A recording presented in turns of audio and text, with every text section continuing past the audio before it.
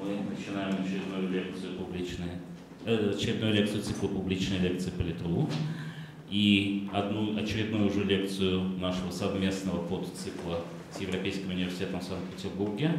Мы рады возможности представить настолько разных, а, но зато целиком качественных а, исследователей, которые работают в Европейском университете. Сегодня мы вновь, как уже сделали полтора раза до того в рамках этого подцикла, говорим об искусствознании, но каждый раз со своей стороны лекции совершенно не повторяются своими темами. Мы сегодня говорим о некоторой, насколько я понимаю, концептуальной рамке искусствознания, о каких-то вопросах к нему, связанных с методом, о каких-то новых возможностях, которые а, появляются сейчас. А, наш сегодняшний гость, кандидат филологических наук, профессор факультета истории искусств Европейского университета Наталья, Наталья Николаевна Мазур. А регламент традиционный, вначале лекционная часть, затем можно будет задавать вопросы при помощи микрофона, который вам принесут. Пожалуйста, Так, ну, во-первых, хорошо ли меня слышно? О, не уверен. А Сейчас. теперь? Раз, раз, да. Ближе? Может Вот взять его? лучше. Хорошо? Да. А теперь хорошо ли меня слышно?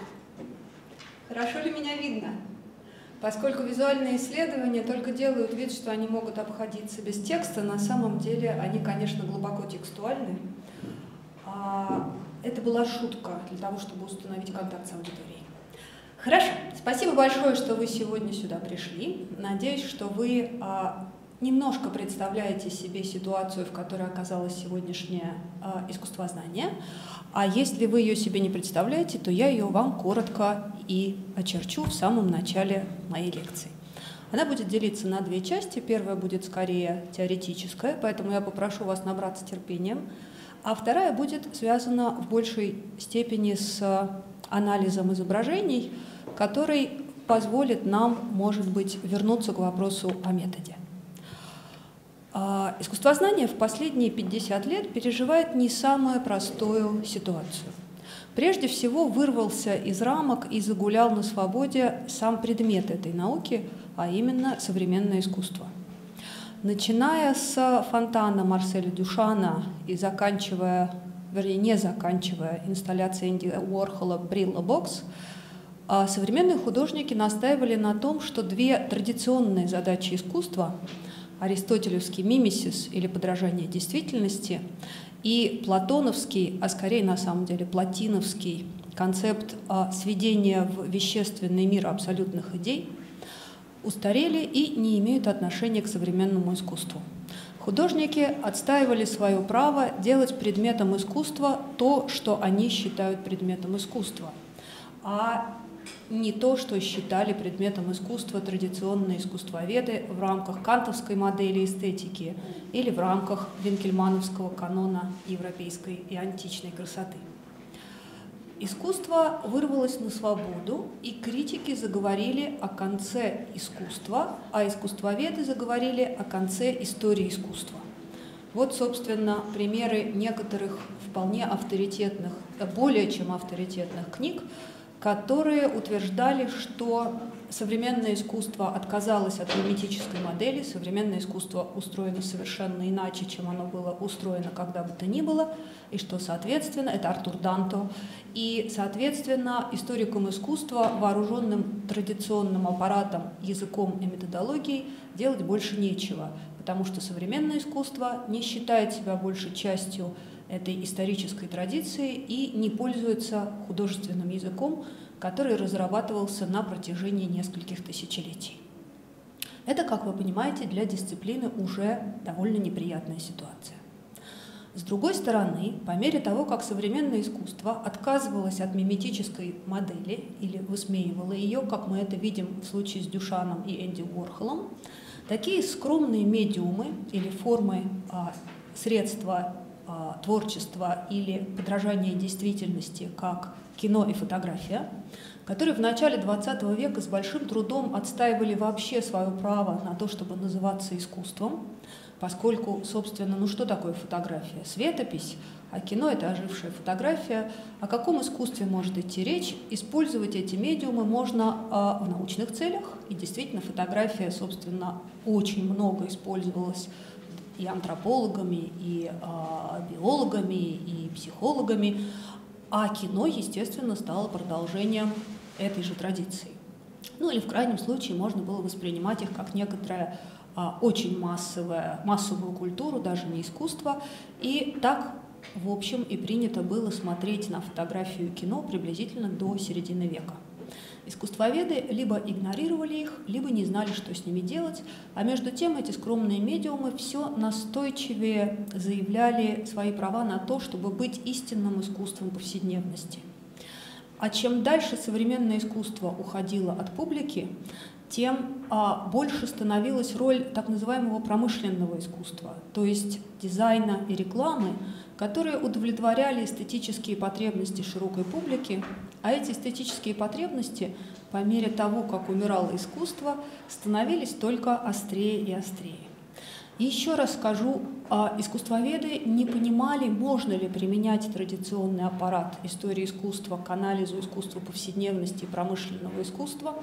И исключения составляли только такие блестящие действительно провидцы, как Эрвин Пановский, который с одинаковым энтузиазмом изучал, а, скажем, творчество Дюрера, а, радиатор Роллс-Ройса или раннее кино. Наконец, изменился социальный контекст – если в начале XX века число кафедр истории искусства исчислялось, может быть, несколькими десятками, то во второй половине XX века было создано множество новых отделений и новых кафедр, которые по большей части возникали в новых университетах. А как мы понимаем, новые университеты, да еще созданные на основе, скажем, профессиональных школ или политехнических учебных заведений – имели несколько иную традицию и иную ориентацию самой системы образования. Безусловное почтение к ценностям а, разума, культуры и традиции. Все три слова надо написать с большой буквы, как это делали в XVIII веке или в современном интернете. Так вот, это безусловное уважение было не таким уж безусловным. И образование было в значительной степени практически ориентированным, а большую часть преподавателей составляли молодые преподаватели, которые и поколенчески естественным образом бунтовали против власти отцов, и, что может быть еще важнее, испытывали очень сильные левые симпатии. Это была та самая среда, в которой и зародилась революция 1968 года. Для того, чтобы оценить, каким образом этот социальный и интеллектуальный контекст отразился в истории искусства, я очень советую вам посмотреть висящие в YouTube два документальных фильма про историю искусства. Первый — это uh, Civilization A Personal View сэра, тогда еще не сэра, а вскоре сэра Кеннета Кларка. А второй — это Ways of Seeing Джона Бергера, или правильнее, конечно, называть его uh, Джоном Берджером — но уж по-русски удобнее произносить Бергер, поэтому, простите, я буду так его называть. Но вы знаете, что а, на самом деле он, конечно, Берджер. А, эти два фильма отличались буквально во всем. Цивилизация сэра Кеннета Кларка была неслыханным по размаху проектом. 13 эпизодов, цветное телевидение, съемки на месте – профессиональные операторы, которые понимали, каким образом следует показать собор, а каким античную статую. Специально написанная музыка. И, наконец, сам Кеннет Кларк, а, популярный искусствовед а, с патрицианскими манерами, с оксфордским акцентом, человек, который получил за этот сериал титул барона, а у популярных журналистов а, титул лорда Кеннета Кларка цивилизаторского. Кеннет Кларк, конечно, утверждал незыблемый авторитет европейского канона, существующей искусствоведческой традиции, и делал это все, как бы это сказать, с вершины Оксфордских башен. Я должна сказать, что я человек миролюбивый и ничего не имею против европейского канона. Мне с ним очень комфортно. Но стоит посмотреть несколько серий а, цивилизации сэра Кеннета Кларка, чтобы в тебе проснулся дух 68 года. А уж что происходило с молодыми искусствоведами, на которых это лилось с экранов английских и американских телевизоров, мы можем представить себе, посмотрев второй, сделанный по сравнению с первым буквально на коленке проект а, «Способы видения» Джона Бергера. Он снимался в студии, и основную часть времени на экране был веселый, кудрявый молодой человек в цветной рубашке, который говорил без всякого оксфордского акцента, немножко смешно картавил и, о ужас, активно жестикулировал, что для британца является признаком южной расы, какого-нибудь итальянца или француза. Бергер активно использовал жесты для того, чтобы донести свое сообщение и сделать его понятней. Собственно говоря, он только что приехал из Франции. Именно во Франции он провел несколько бурных лет вокруг революции 1968 года и впитал там самые главные идеи учения и концепты, которым и предстояло в значительной степени определять интеллектуальный ландшафт 80-х-90-х годов. Бергер сослался прямо в своей передаче на авторитет, на авторитет Вальтера Беньямина, чье эссе «Произведение искусства в эпоху его технической воспроизводимости» было к этому времени уже переведено на английский язык, и не сослался, но активно использовал учение еще нескольких крупных фигур. Ну, во-первых, это был Жак Лакан. Лакан, авторитет которого и во Франции, в общем, еще устоялся не вполне, и который был великим провокатором, Бергеру оказался очень удобен для того, чтобы взорвать традиционное представление о соотношении полов и о роли обнаженного женского тела в искусстве.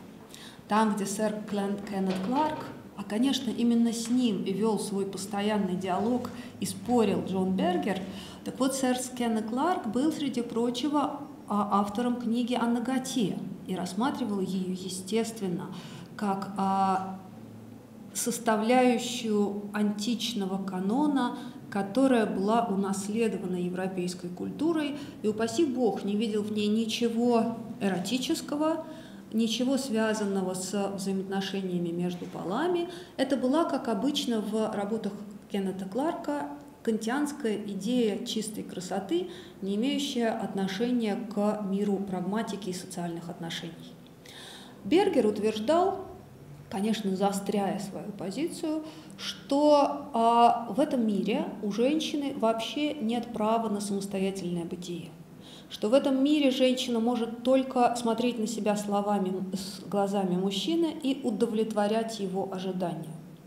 А человек, который внимательно читал Лакана, мог бы увидеть, что в афористических формулировках Бергера отзываются не менее афористические и крайне провокационные формулировки Лакана. Бергер доказывал, что у женщины нет возможности стать частью истории искусства и стать частью искусства, если она не будет объектом взгляда и предметом для доминирования. Собственно, он на несколько лет предвосхитил знаменитое эссе Лоры Малвей о роли взгляда желания в кинематографе и по сути, открыл дорогу тому обширному потоку исследований визуальной культуры, вдохновленных Лаканом, которые не закончились, кажется, и по сей день. Мода не, не, иссякает, хотя, конечно, сегодня это уже не так сногсшибательно, как было в 80-е 90-е годы. И помимо Лакана, еще одним очень важным для Бергера автором, тоже не названным по скорее политическим причинам, а, был Гидебор, автор блистательной, на мой взгляд, книги «Общество спектакля», по которой вышел фильм в 1972 году, ровно в том же году, что и «Способы зрения» самого Бергера. Гидебор, на мой взгляд, это современный Ницше, и а, прочесть его совершенно необходимо, и вы получите от этого чтения, несомненно, очень большое удовольствие. Более того, каждый раз, когда вам будет нестерпимо хотеться новый гаджет или новую сумочку, я очень рекомендую вам вспомнить Гиде Бора, который очень понятно объяснил, что потребность в постоянном потреблении есть на самом деле просто попытка, внушенная нам обществом, заменить истинные ценности и истинное счастье. Общество спектакля – это то общество, в котором каждый из нас создает свой образ и, сам не понимая того, становится частью общества потребления и общества товара. Конечно, сегодня, когда мы живем в чудесном мире социальных сетей, в особенности а, Инстаграма, Гидебор, я думаю, а, сошел бы с ума, впрочем, он застрелился до того. Видимо, предвосхищая то наступление а, окончательного торжества общества спектакля, которое он предвидел, но все-таки не успел увидеть. Так вот, опираясь на гиды Бура, Бергер выстроил свою концепцию рекламы как а, субститута живописи. Он утверждал, что в современном мире традиционная европейская живопись, то есть прежде всего масляная живопись, больше не выполняет той функции фиксации социальных отношений, которую он приписывал ей на протяжении нескольких веков. Функцию фиксации социальных отношений и утверждения властного авторитета теперь выполняет реклама, которая и внушает нам те ложные ценности, ценности общества потребления, общества спектакля, которые а, побуждают нас жить придуманной жизнью, казаться, а не быть. И он очень метко показал, каким образом современная реклама использует традиционные модели и эстетические ценности, собственно, масляной живописи. У меня есть несколько примеров дополнительных к тем, которые приводил Дебор. И, а, простите, не Дебор, конечно, Бергер. И эти примеры показывают, что сама идея использования моделей и образов классической живописи для повышения ценности рекламируемого продукта возникла очень рано. Перед нами реклама соковыжималки а, компании Sunkist, которая была произведена где-то в середине века. И мы видим, каким образом и композиция, и игра фактур – и игра со светом, отражающимся на стальной поверхности этой замечательной, несомненно, соковыжималки, повторяет основные находки авторов голландских натюрмортов. А еще один пример – это отличная грушевая французская водка, которая доказывает, что это, конечно, самая лучшая водка и самая французская водка, потому что она использует достижения того художника, с которого мы, собственно, и начинаем отсчет современной живописи. Она использует натюрморты Сезанна. И самые лучшие французские груши и самый лучший французский художник вместе создают нам образ водки, покупая которую мы не просто покупаем напиток, мы покупаем сам дух французскости, что, естественно, означает а, самую лучшую водку, или, по крайней мере, грушевую водку в мире. Или Например, компания Бригет отлично умеет использовать а, и задеть за живое нотки национальной гордости и апеллировать к национальной культуре. Если вы французы, то вам, конечно, мил образ Наполеона на Аркольском мосту, а русскому человеку приятно знать, что Пушкин носил часы бригет. Что продает нам эта реклама? Она продает нам прочную ассоциацию между предметом, соковыжималкой, водкой, а, часами и ценностями высокой культуры, которые на самом деле не имеют никакого отношения к рекламируемому предмету. Однако, используя эстетические ценности, европейский канон, национальную гордость, производители ловко внушают нам, что мы покупаем не сам товар, но его эмоциональные, психологические, символические коннотации.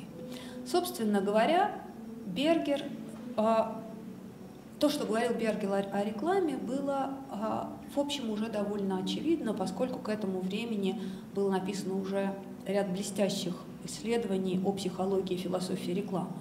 Но то, как он показывал связь между рекламой и классической живописью, то, какой отсвет, соответственно, бросался и каким образом компрометировался а эстетический идеал классической масляной европейской живописи, вот это было совершенно ново.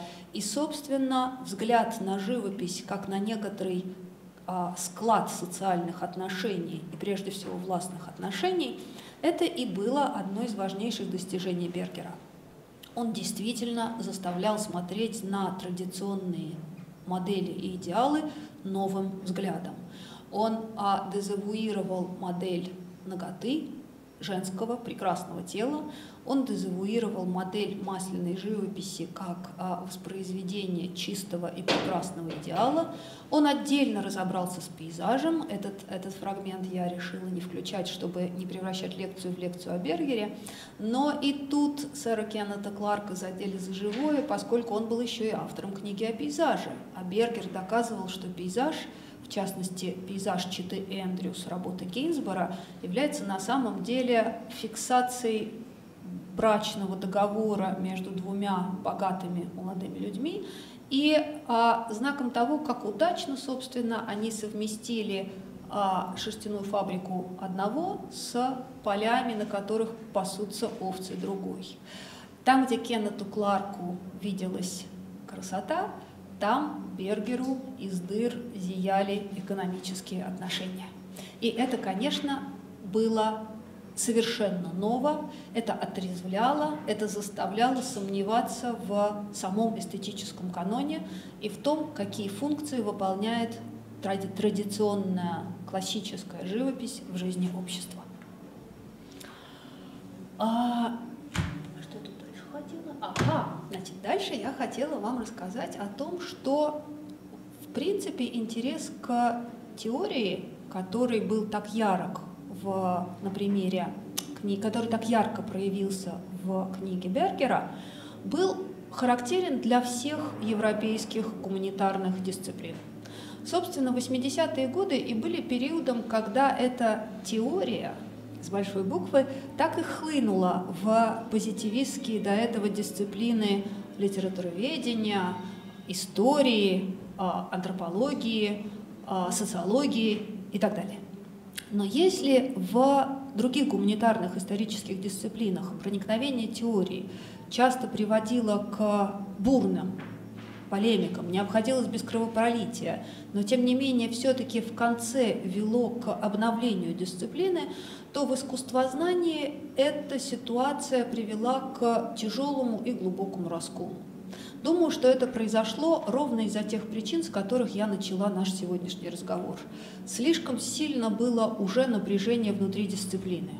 Поменялся объект, поменялись а, представления о том, что такое искусство и какова его социальная роль, поменялся социальный контекст, и в этой ситуации искусствознание просто не выдержало натиска теории, и вместо плодотворной внутренней дискуссии произошел, как я уже сказала, на самом деле очень тяжелый и непреодоленный до сегодняшнего дня раскол. А, и что самое интересное, первыми провозвестниками этого раскола выступили, казалось бы, вполне признанные и традиционные искусствоведы.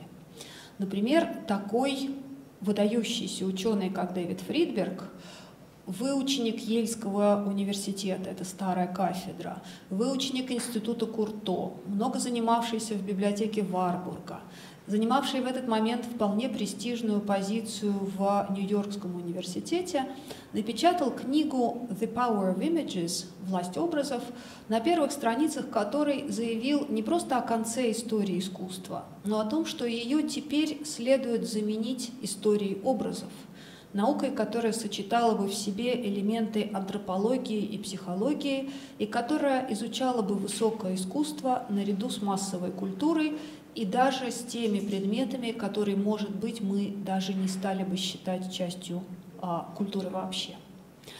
Фридберг был провозвестником а, того стремления к обновлению, которое захватило массу представителей традиционного искусствознания.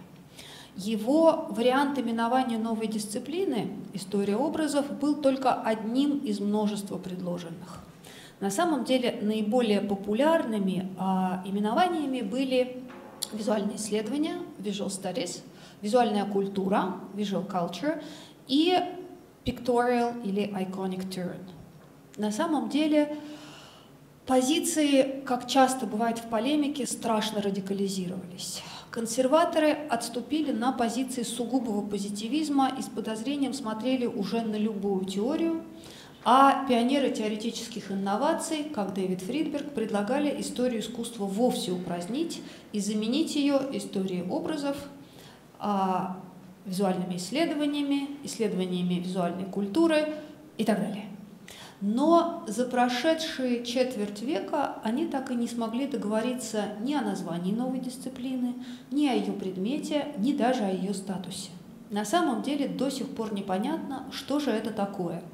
Просто модная тенденция, а самостоятельная дисциплина, поле исследования или, как нам всем хотелось бы верить, некоторая новая научная парадигма – а напомню, что по Томасу Куну научная парадигма – это не просто модное выражение, а некоторая универсальная и общепризнанная научная теория, которая оказывает а, сильнейшее воздействие на дисциплину, в которой она родилась, а возможно и на другие дисциплины, и в некотором смысле меняет саму интеллектуальную атмосферу. Научная парадигма – это спутник научной революции. Так вот, можем ли мы говорить об уверенном формировании новой парадигмы, это лучший диагноз, который мы могли бы поставить, или же мы имеем дело просто с интеллектуальной модой. Это худший диагноз, который мы могли бы поставить. Для того, чтобы ответить на этот вопрос, давайте сначала посмотрим, как определяют предмет, статус, а, предмет и методологическую традицию новой дисциплины. Ну, что касается предмета, то предмет можно а, а, определять по-разному. Можно определять его, двигаясь от частного. Хотя на самом деле это самая комическая и самая, а, как правило, безуспешная попытка определения дисциплины. И характерно, что вот эту формулировку немедленно спародировал другой исследователь, а, иронический исследователь визуальных исследований – а Джеймс Элкинс, которого в России хорошо знают, переводят и часто приглашают, Джеймс Элкинс составил в ответ на более или менее короткий, но абсолютно непредсказуемый список, а, еще более непредсказуемый и очень длинный список, который, конечно, всем напоминает а, прежде всего списки Хорхе Луиса Борхеса, Хорхе Луиса Борхеса, а еще собачка, любимая китайского императора. Удивительно, что здесь нет собачки китайского императора. Надо ее вставить и тоже, конечно, изучить. Идти от частного всегда неправильно, хотя очень просто. Можно попытаться пойти от общего, но и в этом случае мы не увидим единства среди приверженцев новой парадигмы. А, тот же самый Джеймс Элкинс считает, что предметом визуальных исследований должно быть все визуальное, вне зависимости от того, имеет ли оно природу образа или прочно ли вписывается в сферу культуры. Например, он настаивал, что диаграммы и графики тоже должны быть предметом визуальных исследований, и что методы истории искусства могут помочь нам понять устройство этих диаграмм и графиков. Более взвешенную позицию занимает другой отец-основатель визуальных исследований, который, впрочем, говорит о визуальной культуре. Он говорит, это трудно понять, вернее, это, это в русском языке очень трудно, что visual culture не поле, а, собственно, дисциплина. Ну, уж так принято в английском, и нам надо как-то к этому привыкнуть. Так вот, по мнению Кита Мокси, новая дисциплина визуальной культуры следует ей изучать не столько вообще все визуальное, сколько все визуальное, что имеет определенное культурное значение сегодня или что имело определенное культурное значение в предшествующей эпохе. Это, на самом деле, на мой взгляд, наиболее взвешенное определение только не самой дисциплины, а поля ее исследования. Но существует мощная тенденция ограничить визуальное исследование, визуальную культуру только современной культурой, да не просто современной культурой, а современной культурой эпохи глобального капитализма и неустанно разоблачать заговор между властью и образами, инструментом осуществления которого является, естественно, телевидение, интернет и масс-медиа. Эта группа представлена Николасом Мирзоевым, а Кэтрин Рогов и другими более молодыми исследователями. Но и им не жить в покое, потому что появляется другая группа исследователей, во главе которой стоит, скажем, Дэвид Радовик, а он говорит, что, конечно, правильно разоблачать заговор между властью и образами, но только он ведь начался не в эпоху глобализации, а гораздо раньше. И, соответственно, если взять Фуко, прочитать его через Делеза и наложить его на это поле исследования, то вот мы и получим новую дисциплину. Как вы понимаете, я немножко нагнетаю, а, упрощая эти определения, но, вы знаете, не очень я их упрощаю, потому что если сводить это все к сухому остатку, то мы получим действительно крайний разнобой и разноголосицу, которые связаны с тем, что на самом деле невозможно определить дисциплину через предмет исследования, или, по крайней мере, через этот предмет исследования можно попытаться определить, да, и, конечно, в итоге мы получили то, что мы получили, а именно позицию довольно крупного и серьезного ученого Мэтью Рэмпли, который вообще сказал, что у визуальной культуры предмета исследования нет и быть не может, потому что она начала с того, что яростно критиковала все остальные исторические дисциплины, и историю кино, и историю живописи, за их привязанность к объекту. Надо отказаться от объекта, и тогда, собственно, мы получим новую свободную дисциплину. А можно попытаться пойти, подойти к определению дисциплины через метод или через а, методологическое наследование, через генеалогию. Это довольно а, важная, в принципе, традиция. Мы многие дисциплины или научные парадигмы можем описать именно в зависимости, именно думая о том, из чего они родились, или кому они наследовали, или с кем они спорили. Но в случае с визуальной культурой или визуальными исследованиями и здесь на самом деле все неладно. На самом, а, я думаю, что одним из крупнейших а, историков совсем молодой парадигмой является Маргарет Диковицкая, на самом деле Маргарита Диковицкая, выпускница Санкт-Петербургской академии художеств, которая и диссертацию написала о том, как формировалась эта парадигма, и выпустила целую книгу, состоящую из ее методологического введения и 20 интервью с самыми видными представителями новой парадигмы.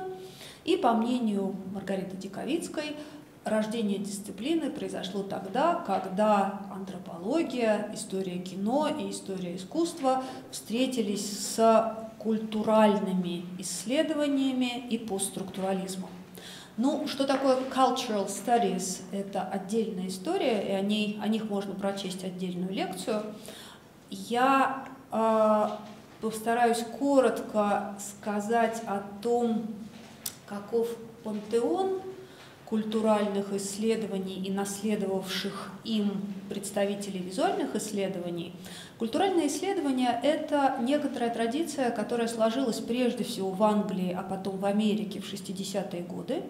Она была очень сильно а, увлечена марксизмом, а затем грамшизмом, и на основании, собственно, различных моделей культуры и моделей власти – описанных Марксом и Грамши, была сформирована новая парадигма. Действительно, мы можем говорить о новой парадигме, которая на протяжении, скажем, 30-40 лет была чрезвычайно влиятельна прежде всего в англосаксонских странах.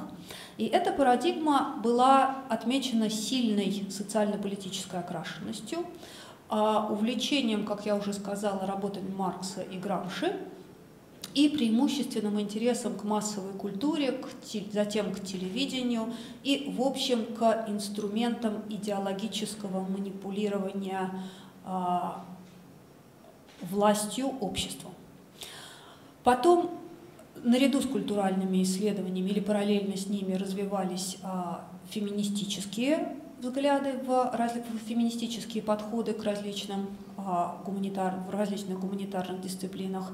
И наконец возникли в рамках Cultural Studies так называемые Post-Colonial Studies, и вместе Cultural Studies, Feminist Studies и Post-Colonial Studies образовали такой интеллектуальный, я бы сказала, броневик, который задавал тон прежде всего в англосаксонских странах на протяжении нескольких десятилетий. Но когда в начале 2000-х годов Бирмингемская школа социальных исследований, в которой, собственно, и сформировалась эта парадигма, была закрыта, а, несмотря на протесты а, общественности, на самом деле ощущение интеллектуальной пустоты не возникло.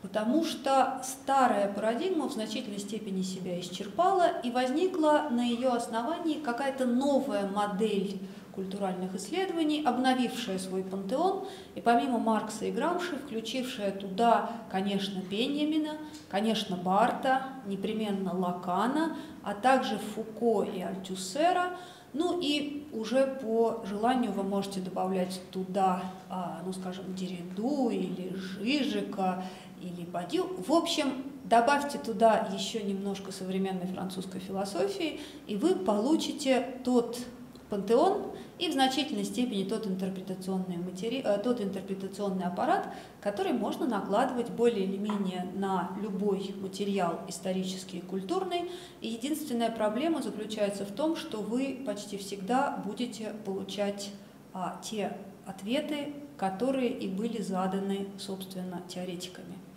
Проблема заключается в том, что когда вы накладываете очень сильную концепцию на материал, который, а, возможно, этой концепции вовсе не синхронен и не имеет с ним никаких а, исторических и культурных связей, то вы получаете не столько объяснение самого материала, сколько очередное подтверждение концепции.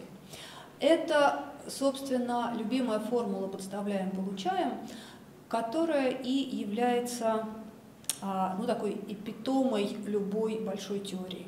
Что бы мы ни анализировали, используя, скажем, модели Фуко, мы получим более или менее предсказуемые результаты, потому что Фуко сам эти результаты описал и сам объяснил нам, что мы должны извлечь из анализа той или иной культуры. То же самое можно сказать о, о о Лакане или о Альтюсере и, в общем, о любом представителе так называемой большой теории. И проблема заключается в том, что диалог, скажем, между э, лаканианцами и э, фукультианцами, он не то что затруднен, он не очень интересен, поскольку у одних есть своя большая теория, а у других своя большая теория. Ну, есть некоторые э, любители а, смешивать подходы, которым удается иногда, скрестив эти две теории, получить, тем не менее, тоже довольно предсказуемые выводы. И в сущности, на самом деле, на мой взгляд, это немножко тупиковая ветвь развития гуманитарных дисциплин, а тупиковость которой объясняется, как я уже сказала, вот этой самой моделью подставляем, получаем, берем любой материал, укладываем его в большую концепцию, а что не уложится в это прокрустово ложе, то обрубаем, ну или умалчиваем. А есть известный в филологическом мире анекдот про Романа Осиповича Якобсона и его тогда еще молодую аспирантку, а в последующем жену Кристину Поморскую, которая спрашивала у него, Роман Осипович, Роман Осипович, а что важнее, факт или концепция? Конечно, факт, э, конечно, концепция, отвечал Якобсон. А что же делать с фактами? Ну, а о фактах можно и умолчать. И вот это тот путь, по которому чрезвычайно соблазнительно идти, если ты являешься убежденным приверженцем большой концепции, не связанной с материалом. Есть другая модель, и на самом деле, на мой взгляд, другая модель работы с материалами теории и является спасением как для визуальных исследований, так и для истории искусства. На самом деле создалась парадоксальная ситуация.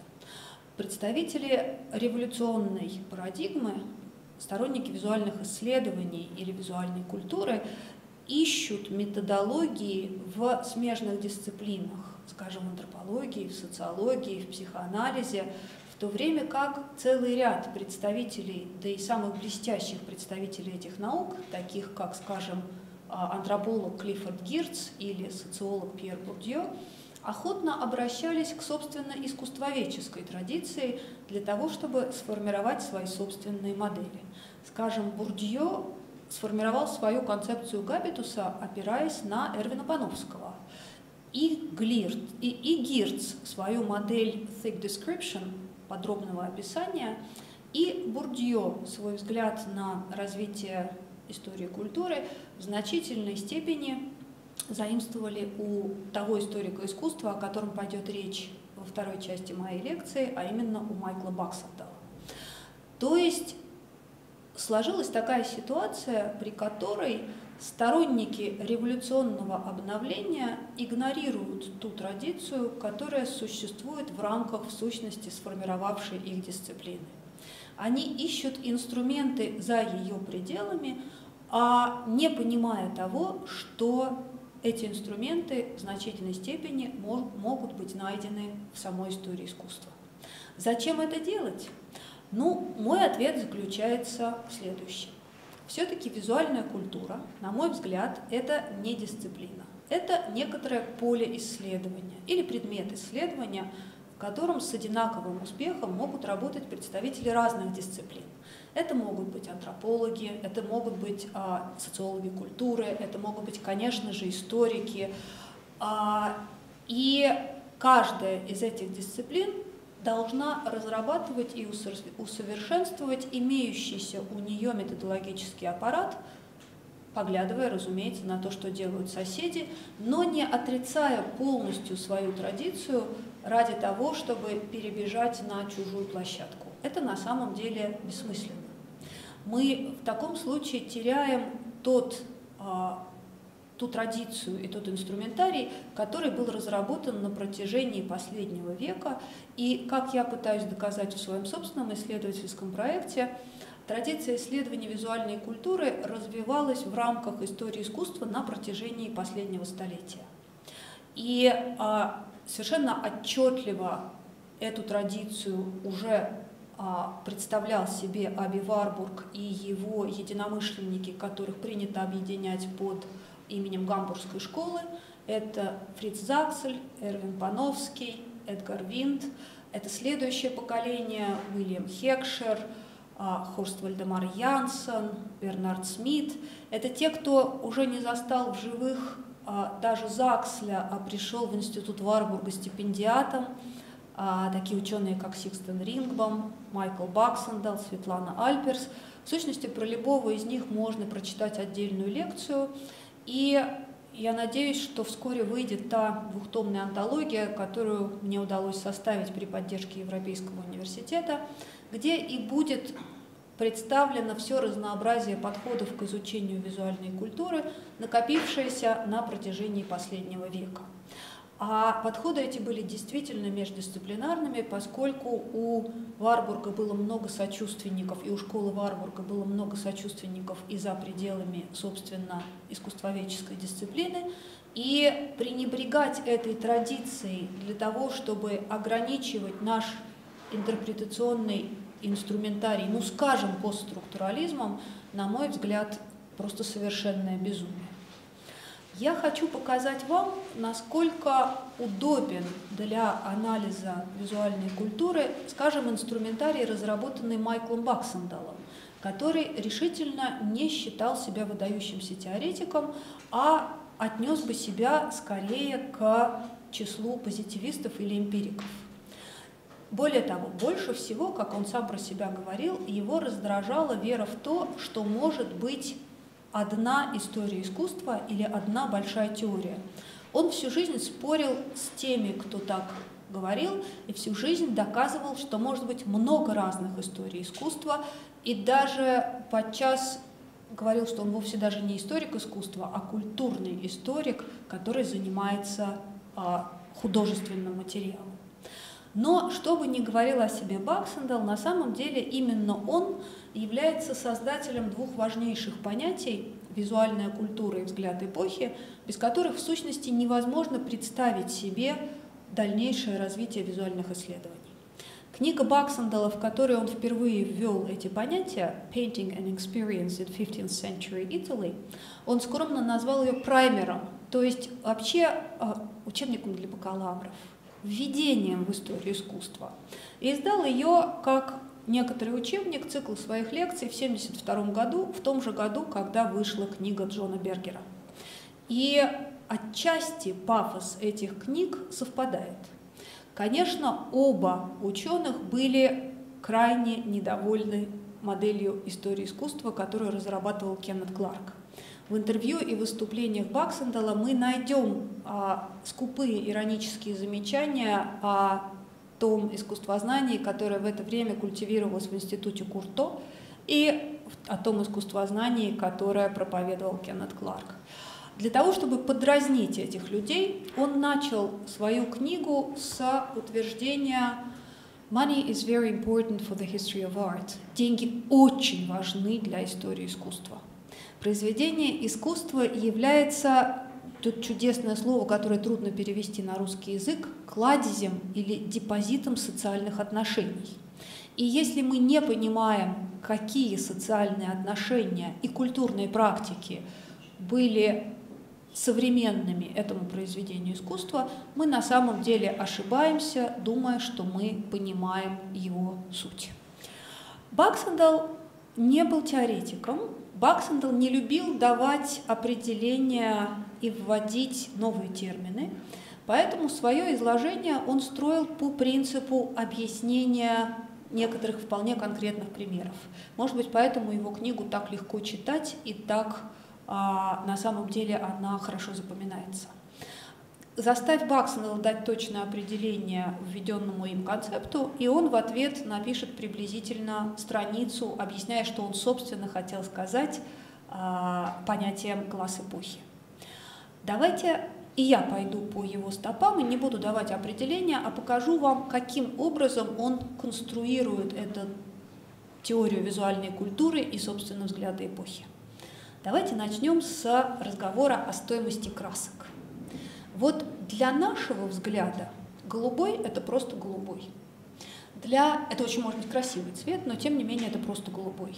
Для Юлии Кристевой, которая тоже задумалась о значении голубого, голубой был цветом, который нес в себе идею небесной чистоты. Для Баксандала голубой был цветом, качество, качественный голубой можно было получить благодаря применению краски под названием ультрамарин. Ультрамарин стоил очень дорого, потому что его производили из а, дорогого минерала, добывавшегося преимущественно тогда в Средней Азии, а поскольку в XV веке торговля со Средней Азией была затруднена а, укреплением власти турок, то и цена на ультрамарин была очень высокой. Для нас разные оттенки голубого не означают, что для росписи, для создания этой фрески или этой картины были использованы разные оттенки интенсивности ультрамарина. Первая отмывка, вторая отмывка, третья отмывка или, например, вообще его дешевый аналог, так называемая медная лазурь. Но взгляд человека, скажем, 15 века был устроен совершенно иначе. Есть замечательный пример искусства раннего возрождения. Капелла Скровении, расписанная Джотто в Падуе. Когда мы входим в эту капеллу, мы думаем о чем угодно, но только не о деньгах. Когда в эту капеллу входил человек 15 века, на него со всех сторон смотрели, как мы бы сегодня сказали, 100-долларовые купюры – потому что потолок этой капеллы был целиком расписан самым дорогим ультрамарином, а стены художником, за кисть которого в этот момент в Италии платили дороже всего. Эту капеллу построил знаменитый ростовщик. Для того, чтобы выкупить душу своего отца, еще более знаменитого ростовщика. Скровении были такими ростовщиками, которые придумали брать проценты с процентов. И поэтому Данте нашел для них специальное местечко в своем аду. Так вот, для того, чтобы выкупить душу своего отца, Скровени, Энрико Скровени не пожалел никаких денег. И нам, конечно, надо это понимать для того, чтобы понимать, какое впечатление производила на современников эта капелла, и для того, чтобы понимать, какое сообщение вкладывал в это произведение искусства его заказчик. Кроме того, ультрамарин мог использоваться для подчеркивания тех или иных значимых деталей в картине.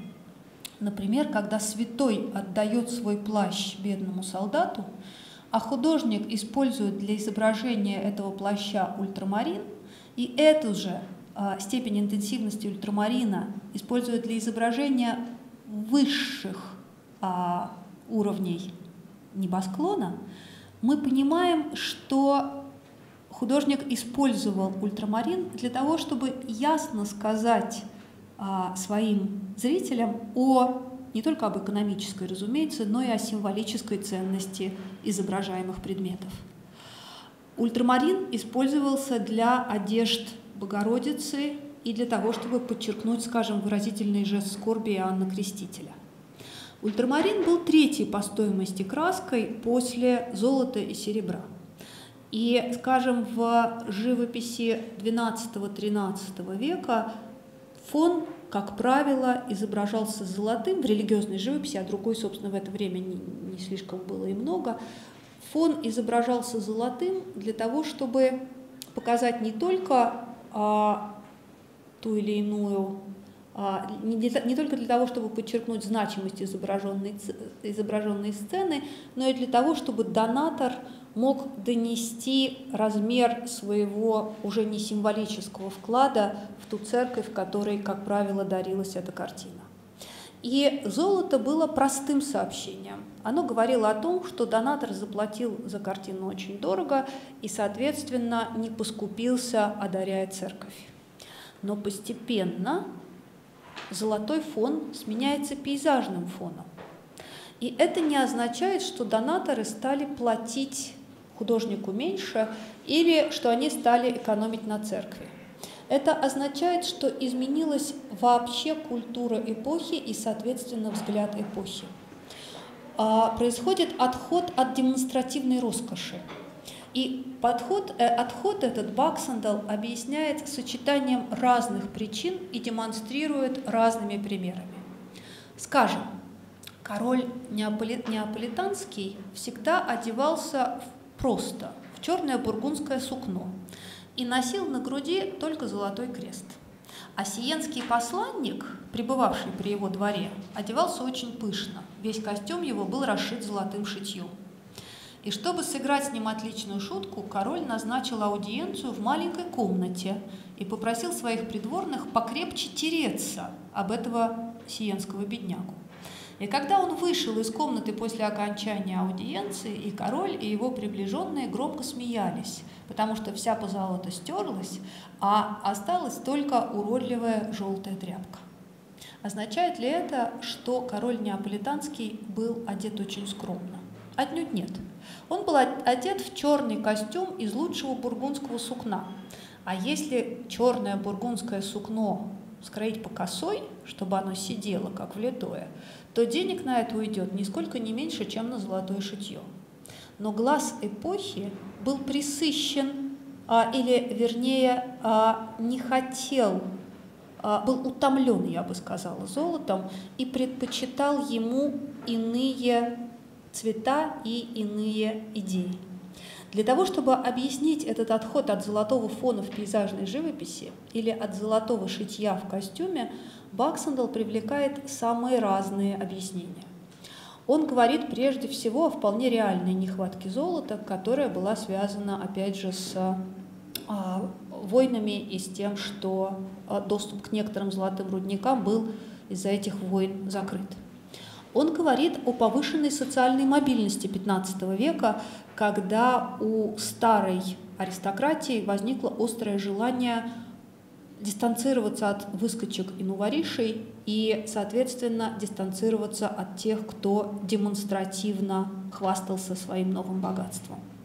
Он говорит о развитии неостоицизма, об увлечении Цицероном, о том, что в более бедных слоях населения начинает развиваться пиетизм, и, наконец, о простом цикле моды, который приводит к тому, что то, что было модно вчера, уже не может быть модно сегодня. И таким образом переход от золотого фона к пейзажному фону в живописи оказывается вписан в очень тесную сеть или ткань, в плотную ткань социальных отношений, которая включает в себя и увлечение Цицероном, и моду, и желание дистанцироваться от новоришей, и реальную нехватку золота. Все это вместе составляет ту сложную цепь или сеть условий, без которых мы не можем понять изменения, происходящие в культуре эпохи. А не понимая изменений, происходящих в культуре эпохи, мы не понимаем и изменений в живописи. Но глаз человека этой эпохи фиксировал не только отход от золотого фона к пейзажному. Он постепенно приучался различать кисть хорошего художника, которому платили дорого и который, соответственно, был в сущности, э, произведение, произведение хорошего художника было тем самым символическим капиталом, который донатор давал церкви и прихожанам для того, чтобы а, подчеркнуть, может быть, масштаб своего вложения и а, степень своего а, степень своей значимости для города или для церкви или для гильдии. Но для того, чтобы этот дар не был просто демонстративным, для того, чтобы развивалось понимание ценности собственно, кисти художника, потребовались очень серьезные изменения во всей культуре эпохи, которые Баксендал и считает необходимым анализировать для того, чтобы понимать историю развития европейской живописи. А другой пример, который в нашем случае уже совершенно не очевиден, это замечательный анализ, например, этапов чуда Благовещения. Ну, хорошо, если мы все твердо представляем себе, что там произошло. Благовещение для нас это просто благовещение. А проповеди во флорентийских церквях XV века и XVI века, которые восстановил и прочел Паксендал, на самом деле интерпретировали Благовещение как целую сеть событий, каждая из которых предполагала, что художник умеет изображать различные оттенки психологических состояний. Так, например, когда архангел Гавриил обратился к Деве Марии с приветствием, она испытала естественный испуг. И те или иные оттенки испуга, собственно, и фиксируют европейские художники с разной степенью эмоциональной выразительности, с разной степенью телесной подвижности изображенных персонажей, с разной степенью а иронии, как мы увидим дальше, картина Лоренцо Лотта – это вообще-то очень веселая картина, что отнюдь не мешает ей быть в то же время картиной глубоко религиозной. Здесь испугана не только Дева Мария, здесь страшно испугана явлением Архангела и кошка. Впрочем, кошка – это вполне возможно дьявол. А Дева Мария может отмахиваться от Архангела Гавриила – Дева Мария может демонстрировать самые разные степени испуга, после которого наступает следующий этап, этап размышления и очень тесно связанный с ним этап вопрошания, когда она приходит в себя и, собственно, обращается к Архангелу с ключевым вопросом, каким образом могу зачать я Сына Божия, если я не знала мужа. И опять же различные оттенки в изображении чувств Девы Марии были хорошо понятны зрителю того времени и почти непонятны нам. Мы не, мы не умеем различать мастерство художника в передаче того или иного эмоционального состояния, а значит на самом деле теряем половину удовольствия от этого изображения. Потому что ведь а, проповедник использовал картины и росписи церкви примерно так, как я использую сегодня PowerPoint. Только он еще активно жестикулировал, привлекал внимание своей паствы к тому, что изображено, и мог, как всякий хороший оратор, а, несколько минут, а то и десятков минут рассуждать о том, что именно испытывала Дева Мария, когда услышала обращение к ней Архангела.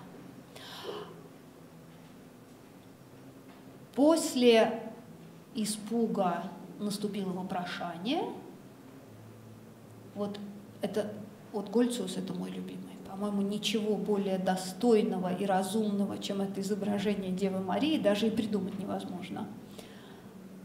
После этого наступило смирение и, собственно, принятие Божьей воли. Она скрестила на, груди руки и сказала, что служанкой предстает перед Господом. И всякий хороший проповедник мог минут 20 как минимум рассуждать о смирении и послушании как основных женских добродетелях.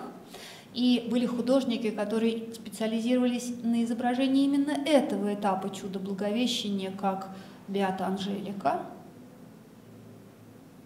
И, наконец, наступал самый трудный для изображения этап – это, собственно, момент зачатия и момент прославления. Например, можно было изображать для того, чтобы показать это чудо, свет, как это делал Карл Кривелли, а можно было поступить так, как сделал один из самых замечательных психологов итальянского возрождения Антонелло да Мессина, он изобразил Мадонну, которая уже, собственно, зачала, она аннунциата, то есть ей уже чудо было объявлено, и изобразил ее, теперь вы знаете, почему она вся покрыта этим платом, и вернее, почему этот плат весь такой голубой. Это тот самый драгоценный ультрамарин. И изобразил на ее лице ровно ту гамму состояний размышления, вопрошания, смирения и одновременно славы, которую, собственно, и можно разложить на пять состояний, а можно стянуть ее всю в одно изображение, как это удалось сделать ему. И надо сказать довольно характерно, что перед нами уже не большая картина, предназначенная для церкви, а совсем маленькая, примерно вот такого размера картина для индивидуальной молитвы, которая предполагала глубокое эмпатическое погружение в состояние Девы Марии. И, собственно, те часы, которые молящийся проводил перед этим образом, становились гораздо более увлекательными благодаря той психологической тонкости, которую художник умел вложить в изображение сразу нескольких психологических состояний, стянув их воедино. Но для того, чтобы научиться различать эти состояния чуда Благовещения, нам надо, конечно, прежде всего понимать, какую а, трактовку этому чуду давали флорентийские или не флорентийские проповедники той эпохи, и каким образом взгляд человека 15 и 16 и на самом деле еще и 17 века умел различать различные этапы чуда Благовещения. Не менее важен для понимания живописи язык жестов, который отнюдь не так а, неизменен, как хотелось бы думать, скажем, историкам культуры. На самом деле жесты меняются очень сильно. И, скажем, Леонардо да Винчи был страшно недоволен одним чудом Благовещения, которое ему довелось видеть, в котором Мадонна едва ли не вылезала в окно от ужаса и нарисовал свой собственный вариант, в котором Дева Мария делает чрезвычайно достойный жест, который нам, однако же, совершенно сегодня непонятен. И этот же жест, что интересно, мы найдем в той картине, в том изображении, которое, собственно, и позволило Баксандулу объяснить эту загадку. Он нашел книгу а, с рассказом про одного трактирщика, который приветствовал гостей входящих в его гостиницу, и это был жест приветствия и приглашения войти внутрь. И вот этот жест приветствия и приглашения, собственно, и воспроизводили художники, изображая чудо Благовещения, и кардинал Гонзага, приветствующий своего сына, и музы, приветствующие юношу и приглашающие войти его в царство Аполлона и Муз – и что самое главное, весна на знаменитой картине Боттичелли. До Баксандала многие искусствоведы пытались интерпретировать жест центральной фигуры. Моя любимая интерпретация – это отщелкивание ритма. Якобы весна отщелкивает ритм танца граций. Так вот, на самом деле ничего она не отщелкивает, а просто достойным и спокойным жестом приглашает зрителя, то есть нас с вами, войти в царство весны и любви, которое изображено на этой картине. Согласитесь, а, стало гораздо понятнее и на самом деле от того может быть и гораздо интереснее. И опять же, для того, чтобы объяснить шедевр Боттичелли, нам надо погрузиться в ту самую массовую визуальную культуру и, может быть, найти очень простую книжку с новеллой про трактирщика, чтобы наконец понять, что означает этот жест. В инструкциях для проповедников Баксендал обнаружил объяснение жеста «две руки одновременно поднятые к небу». Так следует поступать проповеднику, когда он говорит о наисвятейшем из всех возможных событий. Скажем, Вознесение Богородицы – это, конечно, наисвятейшее из всех возможных событий, и поэтому целый ряд святых изображен коленопреклоненными и поднимающими руку, руки к небу. Но ровно так же выглядит и а, Дева Мария на том самом Благовещении Лоренцо Лотто – жест оказывается двусмысленным. С одной стороны, она от страха чуть ли не закрывает уши руками, а с другой стороны, она поднимает руки к небу, потому что сейчас произойдет, может быть, наисвятейшее событие во всей новой истории человечества. От того, что эта картина была одновременно и высокой, и веселой, ничего, собственно, богохульственного в этом сюжете не появлялось. Так была устроена религиозная культура этой эпохи, и от того только интереснее было разглядывать эту картину, соответственно, зрителю-современнику. А если мы этого жеста не понимаем, то нам и не весело, и не интересно, и, и непонятно. Помимо языка жестов, Баксендал показал, как важно может быть а, понимание некоторого телесного опыта, воспитываемого, например, танцами. Танец формирует в нас то телесное припоминание того или иного движения, без которого мы можем воспринимать изображение движущегося тела просто как изображение движущегося тела. Но человек, живший во Флоренции эпохи Медичи, видел те великолепные придворные танцы, сценарий для которых писал сам Медичи, и вполне мог опознать движение фигур на этой картине, и движение ветра, и движение граций, как определенные танцевальные па. Представьте себе, что, глядя на эту картину, вы понимаете, что они одновременно танцуют – а ваше восприятие на самом деле невольно изменится, потому что ваша телесная память подскажет вам, вернее, ваша телесная память заставит сформироваться совершенно иные нейронные цепочки, но в эту сторону мы сейчас ходить не будем, это отдельное направление в современном искусствоведении, опять же, о нем можно говорить долго. Или, скажем, здесь мы имеем все основания предполагать, что перед нами определенный танец – часть визуальной культуры, которая отразилась в произведении искусства. И еще одно замечательное наблюдение Баксендала, о котором я хочу рассказать, пока вы еще не совсем устали, это связь. Значит, мы поговорили с вами о том, как в произведении искусства отражаются экономические составляющие, скажем, цена на ультрамарин. Мы поговорили о том, как в произведении искусства отражаются те или иные элементы религиозной культуры, чудо Благовещения. Мы поговорили о жестах и о телесной памяти, связанной, скажем, с такой культурной практикой, как танцы. Но культурные практики могут быть еще и интеллектуальными. И для того, чтобы понимать расцвет искусства итальянского возрождения, нам может быть неплохо помнить о том, что в этот момент школьное образование, начальное школьное образование для мальчиков было фактически обязательным.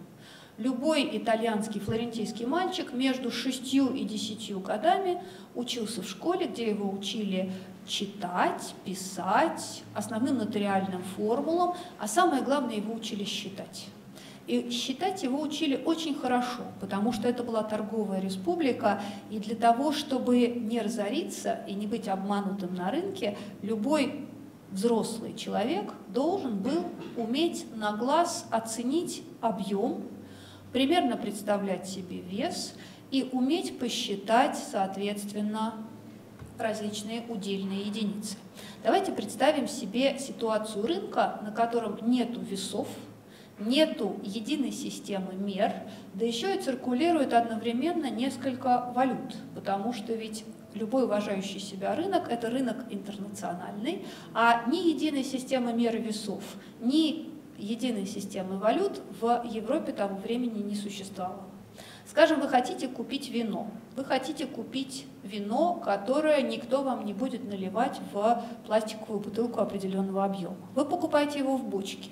Это означает, что вы на глаз должны быстро прикинуть объем этой бочки и понять, сколько, собственно, за эту бочку стоит заплатить. Или вы покупаете пшеницу, которая насыпана ровным конусом, а, и, соответственно, вы должны быстро понять, какой объем у этого конуса и много или мало с вас просит тот или иной купец. Навыки устного счета, базовой алгебры и геометрии в среднем флорентийце возраста, скажем, 14 лет, были развиты до такой степени, что нам сегодня, живущим в эпоху калькуляторов и электронных рулеток, в общем, об этом остается только мечтать.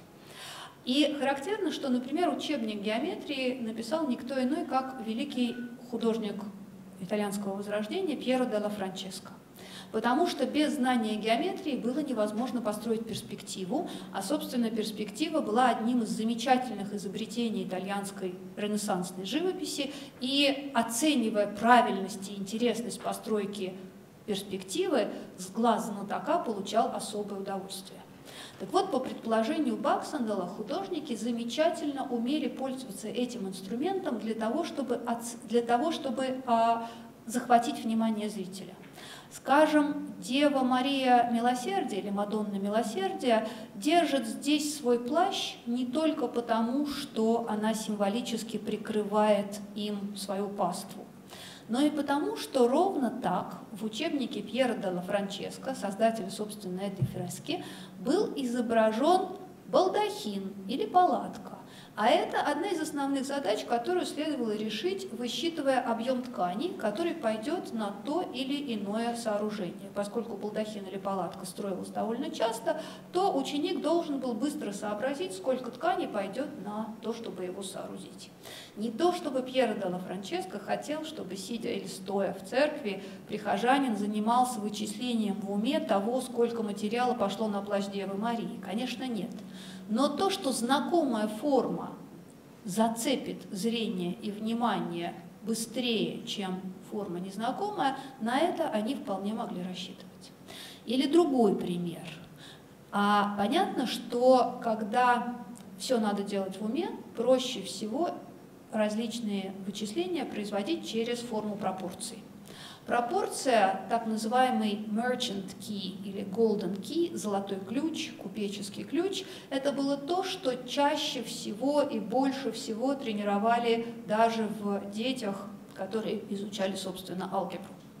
А вот теперь, если мы знаем, что глаз человека этого времени был натренирован на то, чтобы выделять пропорцию, а разум его на то, чтобы вычислять пропорцию, давайте посмотрим на эту картину Пьера, на эту фреску Пьера Далла Франческо, которая на первый взгляд кажется нам очень странной. В принципе, если на нее посмотрит человек, не знающий истории, то у него будут все основания подозревать, что внизу две фигуры осуществляют какой-то странный ритуал поклонения колонне, а наверху происходит вообще непонятно что.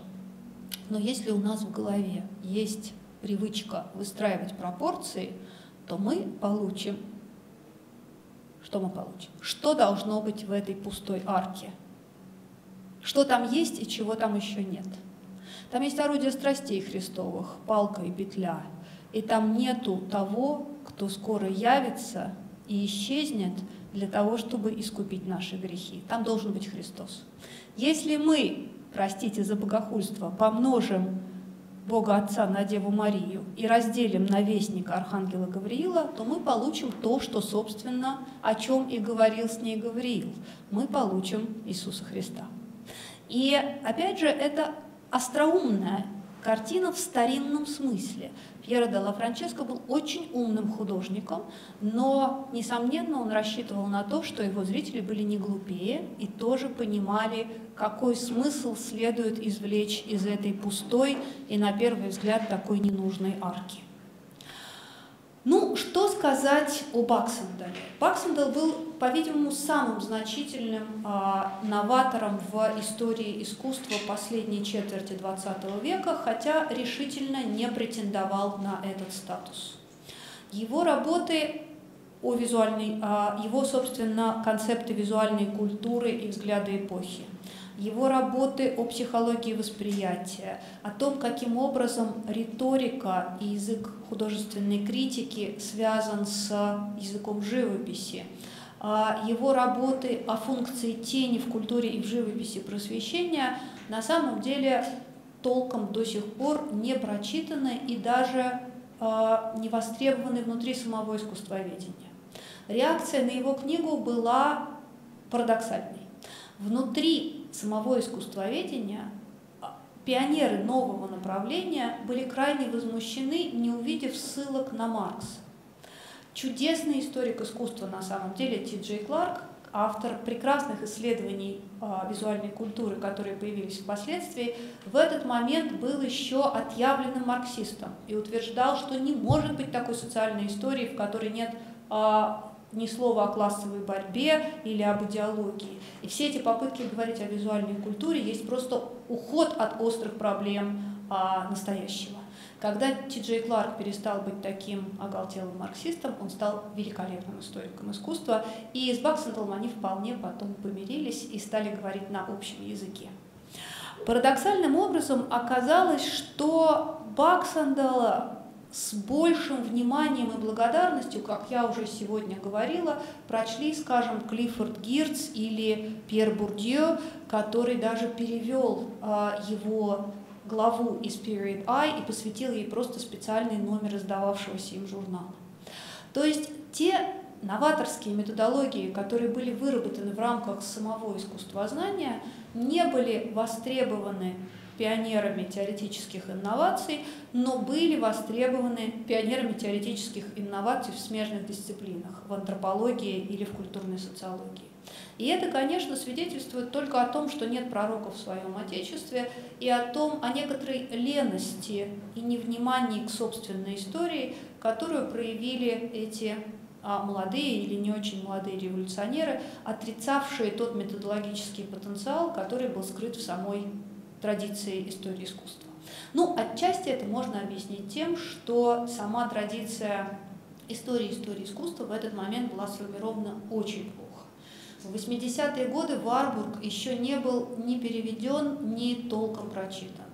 Пановский воспринимался как смешной и устаревший иконолог, предложивший массу странных интерпретаций и породивший массу еще более безумных учеников. Блестящие статьи Пановского начала 30-х годов, в которых он опирался на Карла Мангейма и Макса Вебера, на представителей культурной социологии, и а, которых он предлагал такие методы интерпретации произведений искусства, которые и сегодня являются а, чрезвычайно полезными и чрезвычайно интересными, на самом деле не были толком прочитаны. Конечно, во всем на самом деле виноват Гитлер. Потому что именно из-за прихода к власти Гитлера естественное развитие истории искусства было прервано, и блестящая плеяда еврейских историков искусства была вынуждена покинуть Германию и Австрию. Конечно, переезд был для них непростым с интеллектуальной точки зрения. А не только потому, что им пришлось перейти с туманного и метафизического немецкого на гораздо более прозрачный английский язык, который не был для них родным, но и потому, что сама традиция разговора об искусстве в этот момент в англосаксонских странах была совершенно другой. Это, конечно, была традиция прежде всего позитивистская и эмпирическая. И тесная связь с эстетикой, с философией, с культурной социологией, которая была так характерна для Варбурга и его последователей, была в значительной степени утрачена. На самом деле эмигранты не стали писать и думать проще. И а, наиболее успешные из них смогли сохранить и свою интеллектуальную независимость и предложить такой интеллектуальный продукт, который, который был воспринят в этот момент еще очень молодой, прежде всего, конечно, американской и английской наукой об искусстве. Но что сделали с этим продуктом уже а, их последователи-интерпретаторы, и следует ли считать ответственными в этом самих немецких иммигрантов, думаю, что не следует. Думаю, что а, они пытались быть понятными, а уж как их поняли, это все-таки на совести самих последователей. Сегодня мы должны, я думаю, вернуться к началу этой парадигмы, связав его со школой Варбурга, с гамбургской школой и с, в общем, тем культурным ареалом, который я попыталась коротко очертить, и использовать целый ряд их замечательных методологических находок, без которых, конечно, не было бы и самого Баксендала. Баксендал пришел в институт Варбурга в начале 60-х годов и был сформирован, если не самим не самими варбургианцами, которые к этому моменту уже в общем значительной степени умерли или находились далеко, но библиотекой и самой традицией размышления об искусстве, которая не отрывала искусство от культуры, которая не концентрировалась на шедеврах, но рассматривала искусство как э, часть культуры, и которая интерпретировала искусство как важнейший документ и свидетельство о культуре и о ментальности этой эпохи. И эта традиция, которая была заложена Варбургом и его, и его последователями, и сегодня является, может быть, самой интересной в интерпретации искусства.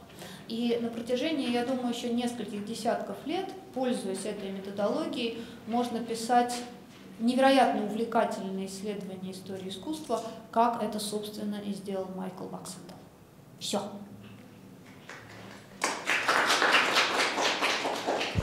Спасибо большое. Мне кажется, очень поучительный рассказ, в том числе и о некоторой развилке, которая была обрисована между попыткой а, использовать искусство просто как некоторую иллюстрацию к социально-критическим теориям, по сути дела, ничего не дав для его понимания, и некоторой попыткой а, использовать для интерпретации искусства все возможные контексты от экономической истории, истории э, эмоций, истории идей, и в свою очередь дальше вновь перевернуть это, использовать это искусство для более там, глубокого понимания все той же истории культуры. Вот. А, просто это правда, методологически очень ценно, особенно, там, может быть, в современной России, поскольку э, там не, не в связи с политическими контекстами, а в связи с некоторым таким ростом популярности, я бы сказал, левацких подходов в науке, а, э, где-то повторяющих в этом смысле а, вот те, те, те, те вещи, которые уже были пройдены в этом смысле в Европе. А, да, так, во-первых, тишина, без микрофона ничего вообще не говорится. А у кого есть какие-то вопросы, соображения? Так. Ну, разумеется, просьба говорить в микрофон максимально. Сергей, здравствуйте. К сожалению, я далек от искусства, я профессиональный администратор, вот, но в последнее время решил все-таки приобщиться, окунуться а, в мир искусства, потому что, уже у нас пока на стороне девушка. Вот, э, скажите, у меня такой вопрос, э, насколько я понял из вашей лекции. А не могли бы вы, вы скажем, привести какой-то пример, например, ну, хотя бы на примере живописи, вот взять какую-нибудь картину, ну, какой-нибудь, скажем, известный шедевр, да, вот, который был, скажем, а, исходя из этих двух теорий, скажем, ну, по-разному интерпретировать. Положим, скажем, ну, в каком-то веке, например, да, когда происходило изучение этой картины, например, да, сдвигала одна версия. То есть, что было, скажем, изображено на этой картине, да, почему было изображено на этой картине. Вот после этого, скажем, э, не, э, ну, как бы... Э, Понятно, да. Я да. все поняла. Вопрос Можно понятен. Спасибо. Спасибо, спасибо. спасибо. Тезис понятен. Да. Собственно, вы знаете, вы просто угадали мою мысль, поскольку когда я думала, что сегодня рассказать, я думала, не пойти ли мне, собственно, вот именно по этому пути, и не взять ли мне для разбора Венеру Урбинскую Тициана, одну из самых прекрасных, скандальных и возмутительных картин в истории живописи, которую называют то богиней, а то pin-up girl, то есть, в общем, я даже не знаю, как это по-русски перевести, ничего хорошего в этом определении нету, ну такая голая баба, а еще ее называют вот проституцией для аристократии. И, собственно, тут мы не можем ее быстренько вывести на экран, да, это, это будет долго. Почему? Может, и можем. А, а в смысле найти пост? Да, в, найти в интернете. Давайте, а я пока расскажу, что, собственно...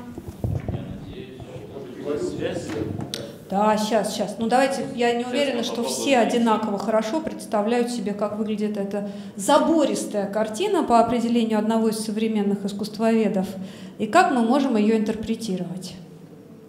Ну, собственно, я не буду читать про нее целую лекцию, я только обозначу полярные точки зрения, чтобы, может быть, привлечь ваше внимание к статье, которую я перевела и включила в Христоматию.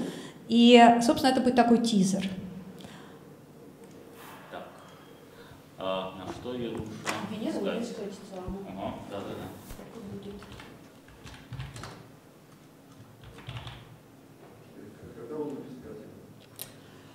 Тысяча, сейчас скажу, 1534, 1538, что примерно. А, Да, мы видим ее, да? Ну, хорошо. Я хочу привлечь ваше внимание прежде всего к жесту левой руки этой богини, который был замечательно описан в путешествии Янки по континенту Марка Твена. Там целая страница возмущенных криков об этой картине и о том, что попытайся он, скажем, в прозе описать, что делает левая рука этой женщины, так его немедленно цензура бы засудила. А так висит этот якобы шедевр в галерее Уфицы, смотрят на него и молодые юноши, и молодые девушки, и никто им этого не воспрещает. А Марк Твен, конечно, иронически обыграл пуританские взгляды на изображение женского тела в а, современной ему Англии и Америке, но Далеко не он один считал, что жест Венеры совершенно неприличен. Например, очень крупный английский искусствовед Чарльз Хоуп, собственно, и назвал эту картину порнографией для аристократии. И существует довольно мощная традиция интерпретации этой картины как, собственно, предельно откровенного эротического изображения, нарисованного для того, чтобы возбудить а, чувственность ее хозяина, ее владельца, ее заказчика. И существует блистательное, на мой взгляд, исследование Рона Гоффен, убедительно доказывающее, что перед нами не что иное, как свадебный портрет. И что картина в равной степени была адресована ее мужскому владельцу, собственно, Гвидобальдо Делла Ровере, и его юной жене Джулии Варана. Я ни слова вам больше не скажу, читайте.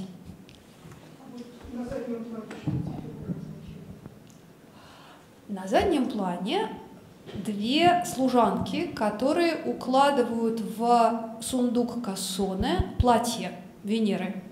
И вот тут лежит один из ключей к пониманию этой картины, потому что сундук кассоне, который нам сегодня кажется просто малозначащим предметом мебели, это один из устойчивых атрибутов приданного.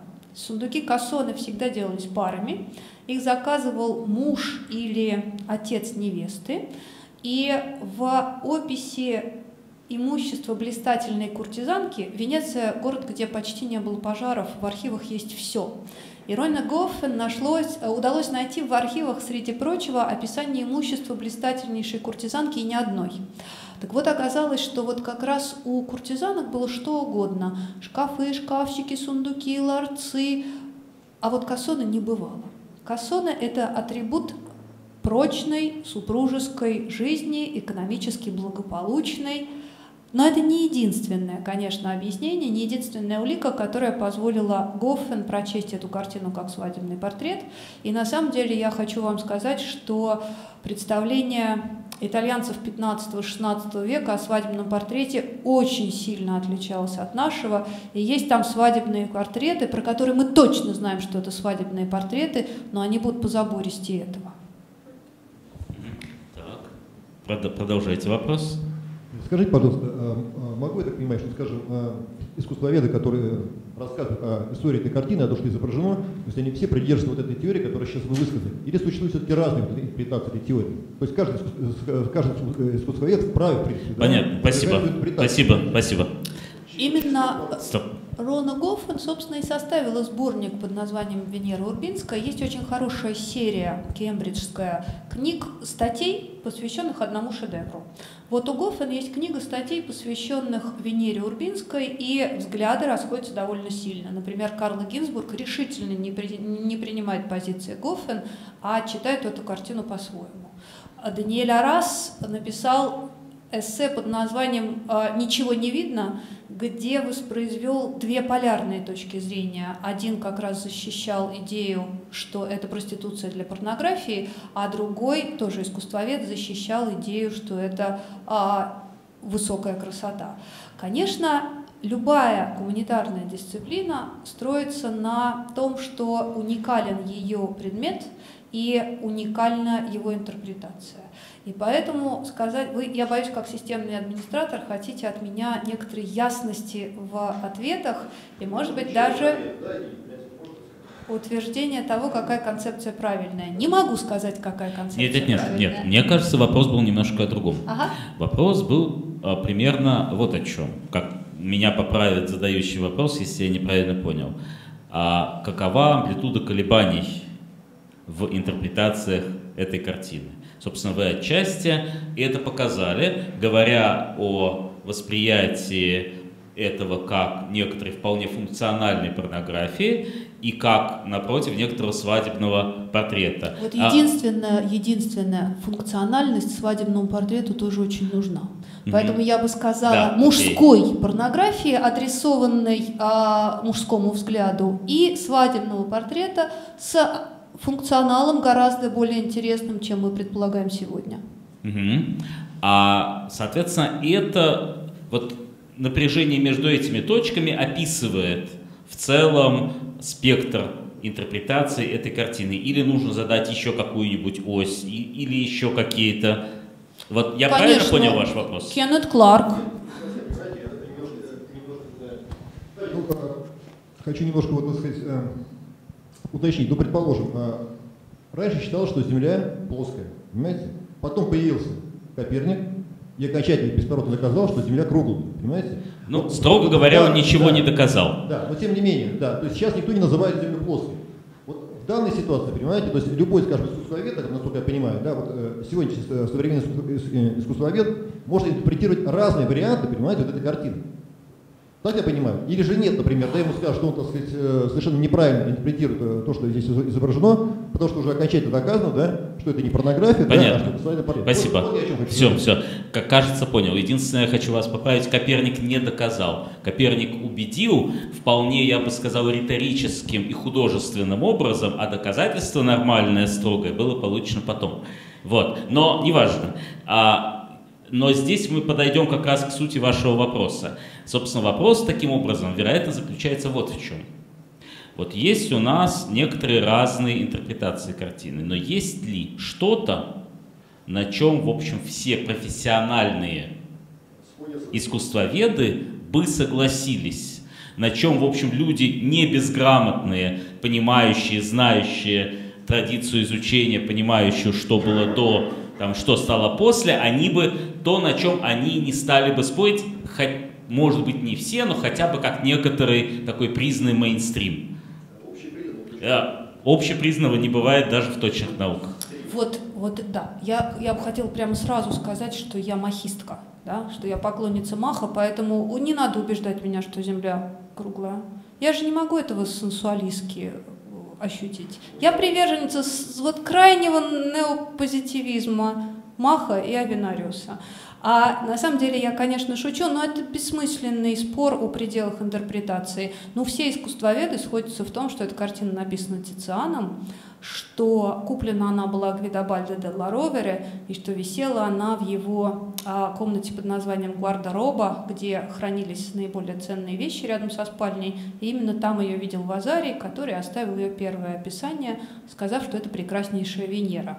А, собственно говоря, а, наши знания о том, что это Венера, опираются именно на Вазаре. А Дальше мы хорошо знаем ее дальнейшую историю. Слава богу, у нее было не слишком много владельцев. Дальше она висела в Уфице. Ее не пытались подделывать, на нее никто не бросался с ножом. А дальше начинается история интерпретаций, которую я сейчас излагать не буду, потому что это долго. Но если я все-таки правильно понимаю, то скорее ваши вопросы связаны со старой полемикой между физиками и лириками, то есть с вопросом о том, является ли вообще гуманитарная дисциплина науками в противовес точным наукам, потому что они не имеют экспериментального подтверждения, потому что невозможно повторить эксперимент и получить тот же самый результат, потому что они не имеют прогностической силы. А, ну, в общем, это очень старый спор, и мне кажется, что он по сути бессмыслен. Я лучше сразу соглашусь, что гуманитарные науки не имеют прогностической силы, что они не строятся на эксперименте, что специфика наша связана с тем, что материал наш уникален, и интерпретация его тоже уникальна. Стоп, стоп, стоп, стоп, стоп. Вообще-то вы, по сути дела, до сих пор почти доказали обратное. Почти. Каким образом? Отвечая, допустим, на вопрос Инны Булкиной, вы объяснили, что же это за ящик такой. Для того, чтобы объяснить и доказать, а, что же значит этот ящик, вы прибегли к очень конкретным, понятным аргументам, к изучению, в частности, того, что же было там а, в, в архивах, что, что было в описи имущества куртизана в то время, это вообще довольно строгое доказательство. Ну, не Здесь... очень. Ну, Почему что не очень? Потому что придет строгий Это ученый нормально? и скажет, Нет, это нормальное, это нормальное строгое доказательство. Нет, смотрите, я вам сразу расскажу, где оно не строгое. У меня же нет описей. А Куртизанки есть, а девиц нету, старых дев, умерших старыми девами. А вдруг у старых дев были косуны? А на самом деле к любому Таким нашему... образом, да, таким образом мы знаем, что здесь твердо доказано, что это не куртизанка, но знаем, где зона гипотезы, зона, да, да, да, совершенно верно. То есть здесь есть вполне строгая наука, есть, опять-таки, что бывает в самых разных науках, зона некоторые гипотезы. Может быть, когда-нибудь, когда будут найдены материалы по этим самым старым девам, может быть, мы получим более достоверное знание. Это вполне понятный, по-моему, подход и для естественных наук.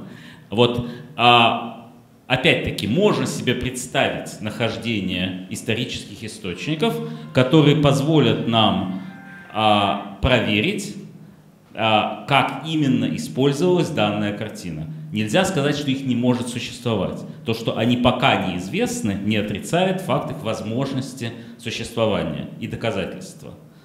Как бы работа с историческими источниками это все-таки довольно твердая э, часть гуманитарных наук. Критика источника, сопоставление источников и так далее. Ну, я приведу анекдот из жизни. А, Я защищала диссертацию под руководством Алексея Михайловича Пескова, который много раз здесь выступал в свое время и, кажется, с вами дружил.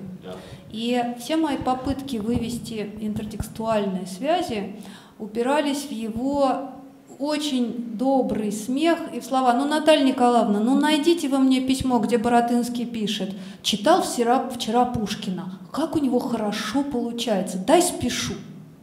И Таким образом, он давал мне понять, что без наличия прямой улики все мои гипотетические построения остаются недоказуемыми, потому что косвенным уликам он не верил.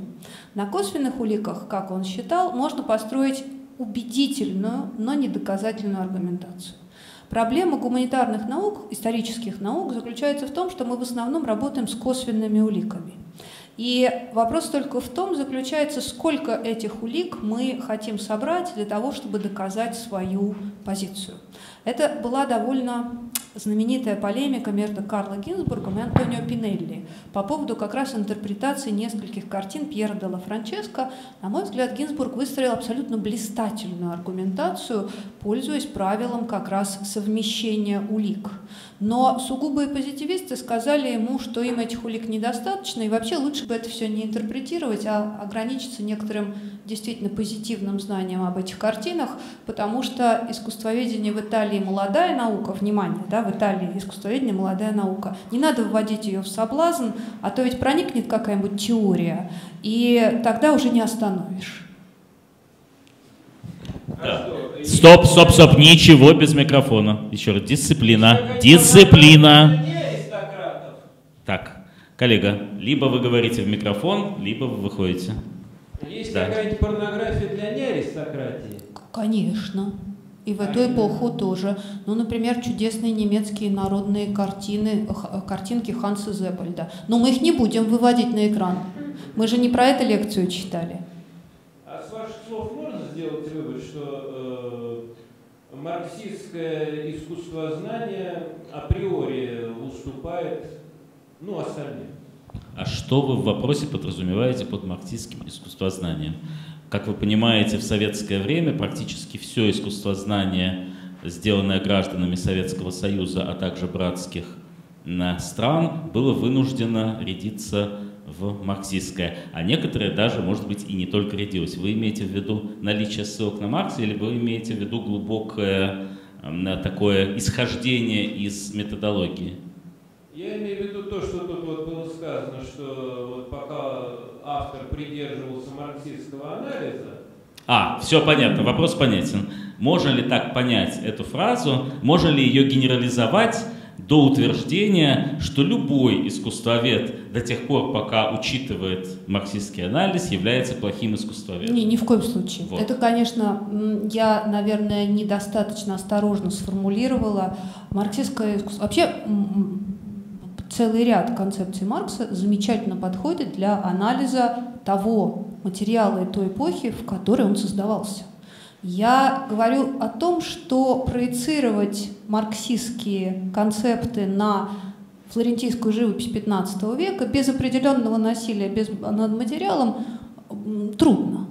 Существует целый ряд работ того же Ти Джей Кларка, в, котором марксистский подход, в которых марксистский подход чрезвычайно уместен. Я говорю только о том, что не надо, лю, любая работа, в которой большая концепция наложена на э, неподходящий материал, будь то Маркс, будь то Лакан, будь то Фуко, на мой взгляд, одинаково уязвима. Но э, любая концепция, лю, любая работа, в которой э, теоретическая концепция имеет тесную связь с материалом, на мой взгляд, гораздо более успешна априори, чем те, которые я описал выше. Спасибо. Еще вопросы? Да, вот Инна. А, я э, хочу продолжить историю с Бергером. Э, ты не помнишь такой фильм об Ярославе «Копия верна»? Это история, э, ну вот, собственно, это продолжение полемики с Бергером уже на другом уровне. Не помню, обязательно посмотрю. Спасибо. А, а можно как-то развернуть? Расскажи. Да.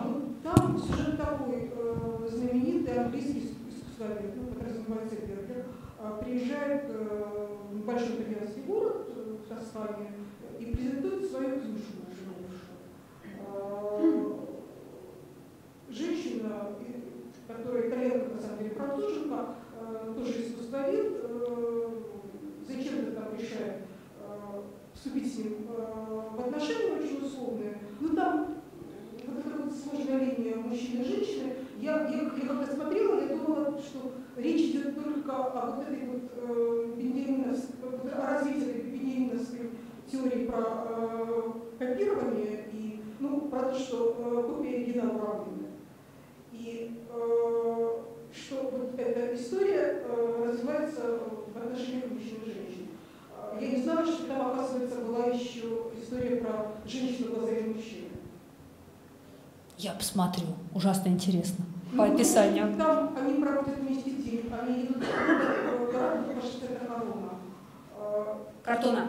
Картона, да. И их принимают за мужа и жену. И они смотрят на себя, глаза, то есть они, они дальше уже произвольно разыгрывают и то, как раз они раскрывают, раскрывают это по-разному. Мужчина видит это э, одним образом, женщина видит это другим образом. То есть для женщины это всегда оригинал, для мужчины это всегда копия. Ну что же. История я... тяжелая, но жизненная, я бы сказала, словами вклад, поэта Кипирова. Вклад в теоретические да. дискуссии художественным методом тоже интересно. Что же. А, вот, Александр, у меня очень понравилась ваша лекция. Вот скажите, пожалуйста, э, такой вот, э, вот ответ, ну, какое-то мнение. Вот, получается, что э, для восприятия, для, именно для психологического, ну, даже для понимания вот, искусства, в первую очередь художественного, да, там, изобразительно, важно понимание контекста, там, погружение в эпоху, знание там, жестов, предметов, вкусов, нравов. А вот, например, если мы поедем, там, не знаю, в Китай, то там совершенно другие манеры, там, традиции, и мы, как мало поймем, скажем так, да? Но есть какие-то... Да, прошу прощения, мы мало поймем и в живописи 19 века, созданной в России. Ну, скажем, мы, не знаю, без специальных знаний. Ну да. Вот универсальные, кросс-культурные, э, то есть, э, или Южной Америки до открытия Колумбом, да, например. Есть какие-то кросс-культурные, некие такие фундаментальные вещи, которые влияют на и одинаково интерпретируются всеми людьми, вне зависимости от принадлежности к тому или иному э, культуре или, например, даже, может быть, веку. Там, ну, есть универсалии, как гравитация, например. Да, мы ее одинаково интерпретируем во все века. А вот с искусством есть? Нет, нет, нет, я прошу прощения, конечно, в культуре гравитация интерпретируется по-разному во все века. Чувственно имеется в виду, вот, физически, физически, психологически. Да? Я очень хорошо поняла ваш вопрос, он очень тонкий на самом деле. Вы нащупали очень важную составляющую в полемике искусствоведческой второй половины XX века, где ключевую роль, конечно, будет играть фигура Гомбриха. Гомбрих как раз считал, а, и, собственно, он работал с его, значительная часть его работ посвящена как раз психологии восприятия. Он говорил о существовании этих универсальных моделей восприятия прекрасного. И, конечно, мы здесь, а, собственно, имеем дело с некоторой все-таки попыткой отстоять а, высокую идею красоты от этого натиска контекстуалистов, от историков культуры вроде Варбурга. То есть все-таки надеждой на то, что можно выработать некоторую универсальную модель красоты и универсальную модель искусства, которая будет понятна всем без исключения. И в последние десятилетия развивается наука нейроэстетика, которая пытается сделать то же самое, что делал Гомбрих, но на другом уровне, а именно путем, собственно, а, исследования активности нейронов в мозге и понимания того, какие именно участки мозга активизируются в момент созерцания произведения искусства. Что я вам хочу сказать? Что Гомбриха опровергли, и у нейроэстетиков, в общем, тоже пока не все получается, но убедительно сказать, что нет, я не могу. В данном случае мы находимся в начале довольно длинного пути, связанного, собственно, с попыткой вывести какие-то твердые биологические основания для нашего восприятия прекрасного. И, возможно, эти биологические основания выделить удастся, а, возможно, не удастся. Я стою в данном случае все-таки на а, позиции а, скорее релятивистской, поскольку я не могу отделить эстетическое удовольствие от интеллектуального. Вернее, я бы сказала так, что эстетическое удовольствие для меня непременно включает в себя интеллектуальную составляющую, и это относится почти это относится к любому виду искусства, от живописи до музыки и поэзии. Когда ты понимаешь, как это сделано, ты получаешь во много раз больше удовольствия, потому что значительная часть произведений искусства, опять же, очевидно в поэзии, а чуть менее очевидно в живописи и совсем не очевидно для обывателя в музыке, написано именно для интеллектуального постижения, а не только для пассивного восприятия.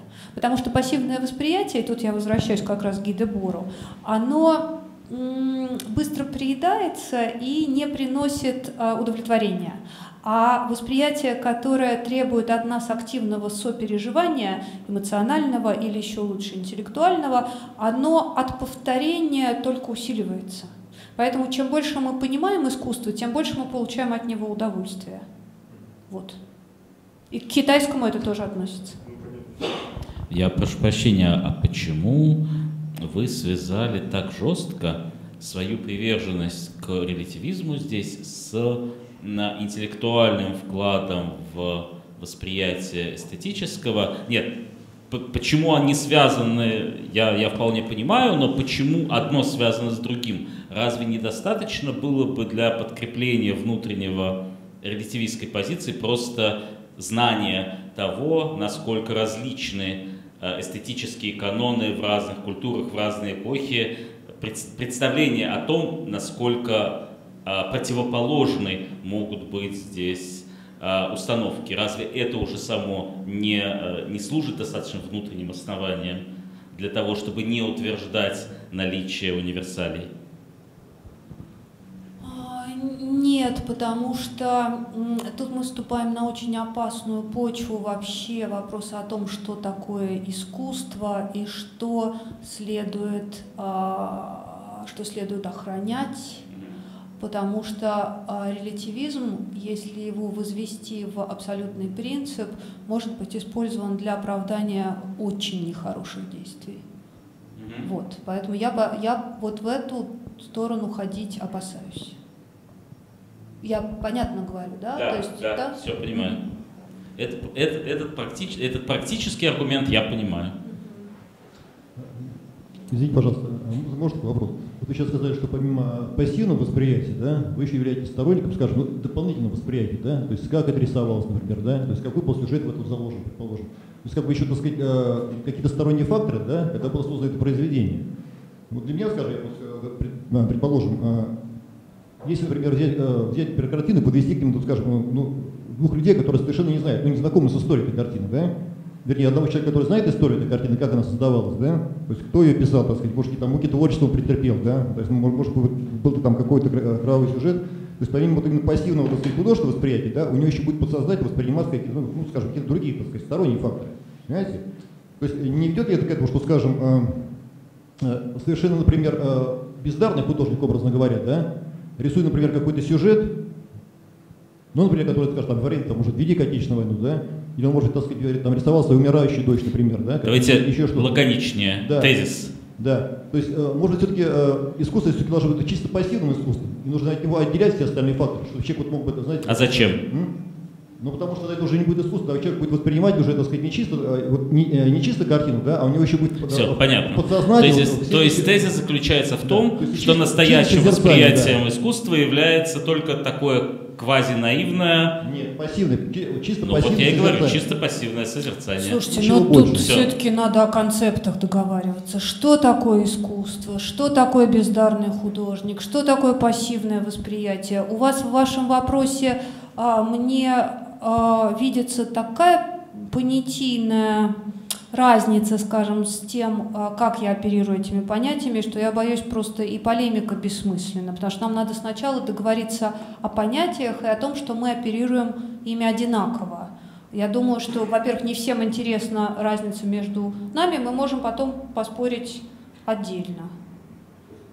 Я за строгость, даже не столько за строгость, сколько а, у Гаспарова в записях и выписках есть чудесный пример.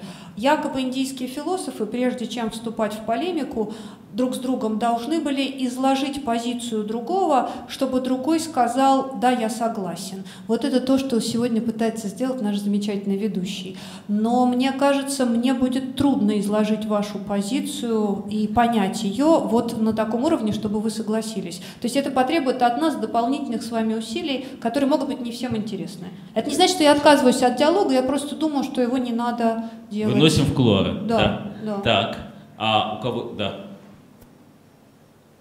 Возьмите. Ага. А, Вот такой вопрос. А, Вот а, сейчас а, в свете развития последних технологий, вот различные программы типа Google, да, еще что-то делают а, такие вот программы искусственного интеллекта, которые, собирая, например, сотни картин одного художника, делают 101, которого в реальности не было, например. Ну, это, бы даже можно на обычном смартфоне есть, уже не говоря про... То есть, если вы собираете 100 картин, например, Леонардо да Винчи, нажимаете, например, делать еще одну. Ну, то есть например, попытка реконструировать да, некоторые стили воспроизводить. Так, и... делает. и... Насколько это искусство? А, Произведение искусства получено... Все, все, все, понятно. Мне бы очень хотелось сказать сразу нет. Но тут есть э, более тонкие и интересные случаи. А, Нет, то, что вы приводите, конечно, не является искусством. И здесь есть просто очень старый пример, восходящий еще, к, скажем, к античной риторике, к Горацию. Гораций говорил, ни в коем случае не бери голову прекрасной женщины, не приставляй ее к телу рыбы и не, доб- не добавляй к этому хвост, потому что ничего, кроме смеха и позора, из этого не получится. То есть на самом деле а, вот такой вот отбор и произвольное соединение, безмысленное, поскольку я не верю, что компьютер сегодня может придумать все так, как Леонардо да Винчи, является хорошим инструментом для анализа чисто, может быть, стилистических приемов. И, в принципе, для искусствоведа, мне кажется, этот инструмент бесценный, потому что он пока как раз позволяет нам отделить то, что может быть воспринято пассивно компьютером, а, отстраняя эмоции, ведь компьютер не эмоционален, он, значит, просто отбирает некоторые формальные элементы и их соединяет. от того, собственно, интеллектуального напряжения, которое вкладывал в это художник и которое передается зрителю. А, поэтому нет, никакой компьютер не может создать 101-ю картину Леонардо да Винчи на основании 100 уже существующих. Но недавно была предпринята очень интересная попытка восстановления Рождества Караваджо. Рождество Караваджо – это отдельная история, об этом есть даже чудесный детективный роман и фильм было украдено из Сицилийской церкви и по утверждениям некоторых членов, а, допрошенных впоследствии этого мафиозного клана, было сожжено, поскольку... А, или, или оно не было сожжено. Но по заказу крупного мафиози эта чудесная картина была украдена, а местонахождение ее неизвестно, возможно, она утрачена. И усилиями, собственно, 3D-принтера на основании существующих фотографий этой картины удалось воспроизвести, собственно, проанализировав технику Караваджо, или вернее попытались воспроизвести, пользуясь техникой Караваджо, картину, общий контур которой был хорошо известен. И вот вопрос в данном случае о статусе копии, когда оригинал безвозвратно утрачен, а копия воспроизводит, с одной стороны, собственно, ну вот форма нам известна, сюжет нам известен, идею мы можем восстановить, поскольку нам известна форма, а технику позволил восстановить 3D-принтер, вот здесь уже интересней. То есть я совершенно не отрицаю технологии, они позволяют сделать очень многое. Но все-таки пока компьютер не пишет Пушкина, не Пушкин, ой, не Пушкин. Стоп, вот отсюда вообще-то есть некоторая развилка интересная, как мне кажется.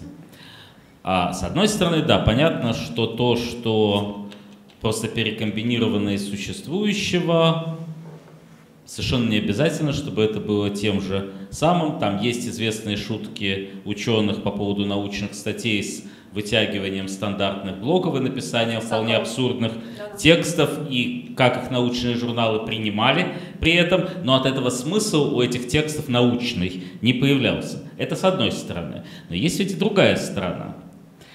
Да, там не 101-я картина Микеланджело, не, как, не какой-то энный текст Пушкина. Э, э, это понятно, и это не вызывает вопросов. Но а, мне кажется, легко себе представить ситуацию. Здесь мы возвращаемся к вопросу релятивизма. Когда некоторый куратор сделает выставку из созданных с помощью а, искусственного интеллекта произведений чего-то, непонятно чего, и эта выставка будет, эта выставка пройдет в традиционной форме, кто-то даже, возможно, купит соответствующие картины куда-нибудь повесит. То есть форма бытования произведения искусства будет соблюдена. А более того, с учетом того, что было на самых-самых первых слайдах презентации а, из а, там Уорхола, а, понятно, что граница все-таки здесь, если кто-то как бы эстетизировал данное нечто, то можем, можем ли мы сказать, что это не культура? Только на основании того, что э, создатель как бы не человек. А, а куратору куда дели? Мы приходим ага. к очень интересному... Знаете, это было. А, я совсем сначала испугалась, но потом вспомнила а, про очень известный эпизод в полемике как раз вокруг абстрактного искусства. Статья Хорста Вальдемара Янсена, который в Америке именовал себя Питером Дженсоном, называлась «After Betsy What?». И написана она была по нашумевшему поводу. В каком-то зоопарке, кажется, чикагском, была ужасно талантливая обезьяна, а, шимпанзе, который служитель принес холсты краски – и обезьяна стала рисовать. И служитель стал продавать ее картины, поскольку они, с его точки зрения, были ничуть не хуже авангардистского искусства. И, конечно, это было использовано как аргумент против авангардистского искусства, потому что а, даже обезьяна может сделать это лучше.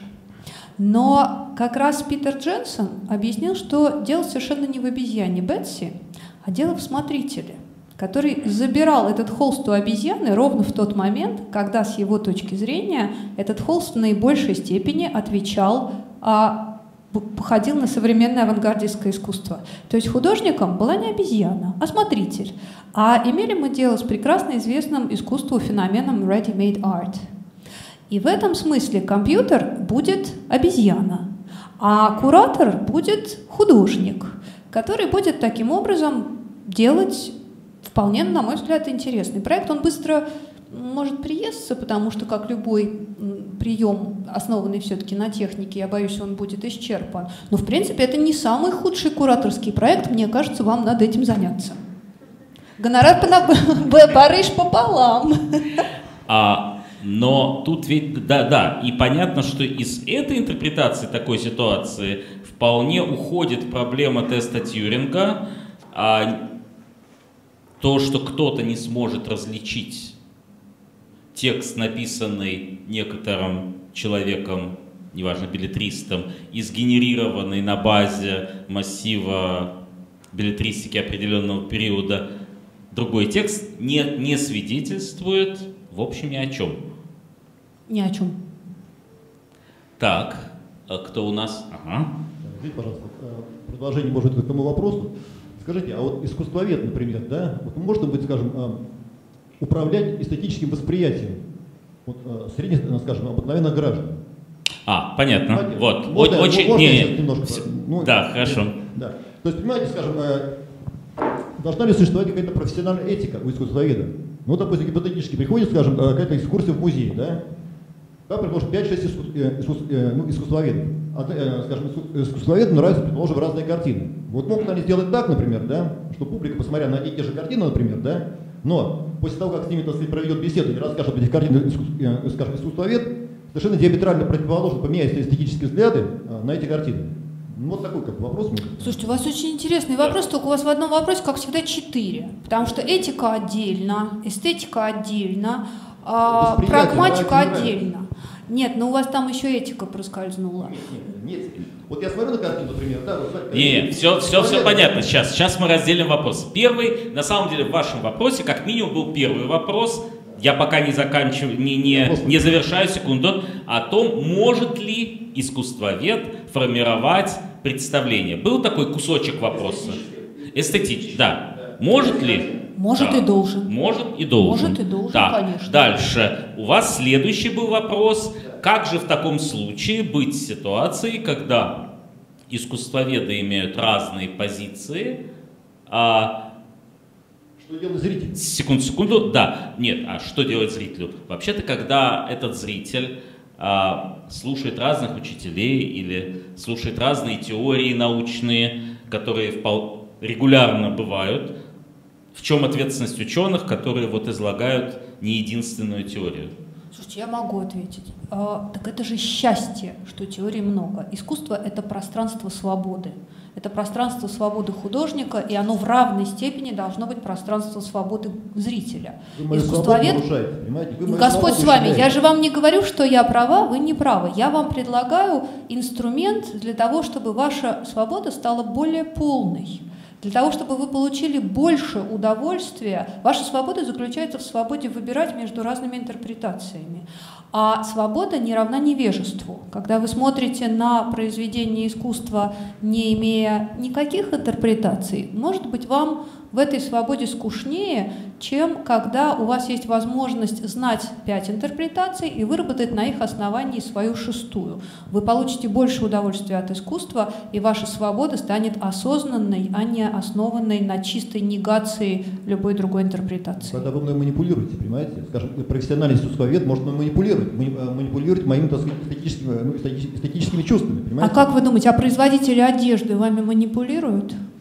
Знаете, когда я прихожу в магазин, угу. если рядом, допустим, нету модельера или, скажем, кутюрье, я выбираю то, что мне нравится. Понимаете? Если, допустим, будет присутствовать другой человек, да, он может, он может если он, допустим, профессиональный, ну, когда я с женой схожу, например, да, то есть ее можно уговорить, и она купит одежду, и потом существует закон, что в течение, допустим, 10 дней ее можно вернуть, понимаете? Смотрите, если вы доведете свою точку зрения до предела, то вам надо ходить голым потому что любой производитель одежды манипулирует вами. Или вам надо из, изготав, изготавливать одежду самому, чтобы вами никто ни в коем случае не манипулировал. я виду про искусствоведа, если бы не было... Нет, например, искусствовед, еще раз, искусствовед здесь ничем не отличается от любых других интерпретаторов. Неважно, интерпретаторов новостей, интерпретаторов фактов в науке. Вы сейчас говорите, освободите меня от интерпретации, поставьте меня перед голыми фактами. Но только и голых фактов не бывает без того, чтобы понять, что есть факт из какой-нибудь концепции. Бывает, бывает. Но слава богу, все-таки мы же одеваемся, выходя в свет. А, то есть, на самом деле, в том, что вы говорите, есть очень важная, а, есть очень важный момент, как мне кажется, про, про некоторую научную этику искусствоведа. Пролетарское искусство, пожалуйста, но интерпретировал соответствующим образом. Нет. Значит, есть очень важный момент про этику искусствоведа, о том, что нормальный академический искусствовед, наверное, в некоторой монографии на какую-то тему должен будет дать ссылки и упомянуть другие интерпретации того материала, с которым он работает. Ну, как нормальный ученый в любой другой дисциплине. Так, чтобы читатель мог пойти за ссылками, проверить, сверить для себя, определить, что ему более убедительно. Читатель захочет по ним пойти, хорошо, не захочет, это его свобода. Да, полностью согласна. Вы хотите, чтобы вам дали Всё. самую лучшую всё, всё. одну методику из всех? Нет. Почему не давали? Хочу дать факты, а отберусь я сам. Вот и все. Да, ну. Так. Такая свобода тоже есть пойти в музей без экскурсовода. Можно. А, И ничего не читать ни в коем случае. а, коллеги, еще вопросы? Живопись это не литература. Только А живопись ваш это... и- пример э, с обезьяной, то есть м, в случае с куратором зависит, когда он от обезьяны отберет ее творение. Вот, э, то есть если он отберет позже какого-то момента, то она там намажет лишнего, да, то, что будет хуже. А если она э, не захочет сама мазать, то он ее заставит доделать что-нибудь или как? Слушайте, ну вы знаете, э, вы знаете людей, которые учили рисовать слонов. Это тоже проект в современном искусстве. Можно учить слонов рисовать. Но Ну, я, я мне, вот- мне кажется, это ну, не самое интересное направление в э, искусстве. Но, в принципе, можно и нужно, и так можно научить. Ну, я так тоже думаю. В, в майской комсомольской правде была заметка, что хозяин лошади, э, художник-любитель, заметил, что она интересуется, как он рисует. Он научил ее держать кисть в зубах, и она тоже стала у него рисовать, и даже нашли это похожим на там какого-то американского художника, модерниста, не помню. И ее работы продаются. Вот мне интереснее всего э, знать, это было или они все-таки воспроизвели историю с Бетси. То есть это просто э, журналисты воспроизвели классику истории э, искусства, или это действительно еще раз случилось? Мгм. Ну, это комсомольская Спасибо. правда, толстушка, четверг, там не то 18 Ну, не то ну, то есть, 25, да, то есть вполне может быть, что вы думали. Ну, то есть Хорошо. зависит от того, когда холст отберут от обезьяны или от лошади. Спасибо. Конечно. А если что-то совсем срочное, вообще у нас время истекло и нас скоро отсюда погонят, но а, если есть что-то действительно содержательное, срочное, необходимое для понимания лекции, нет. Спасибо большое. По-моему, это была Спасибо очень за важная, очень интересная лекция. Спасибо. Спасибо.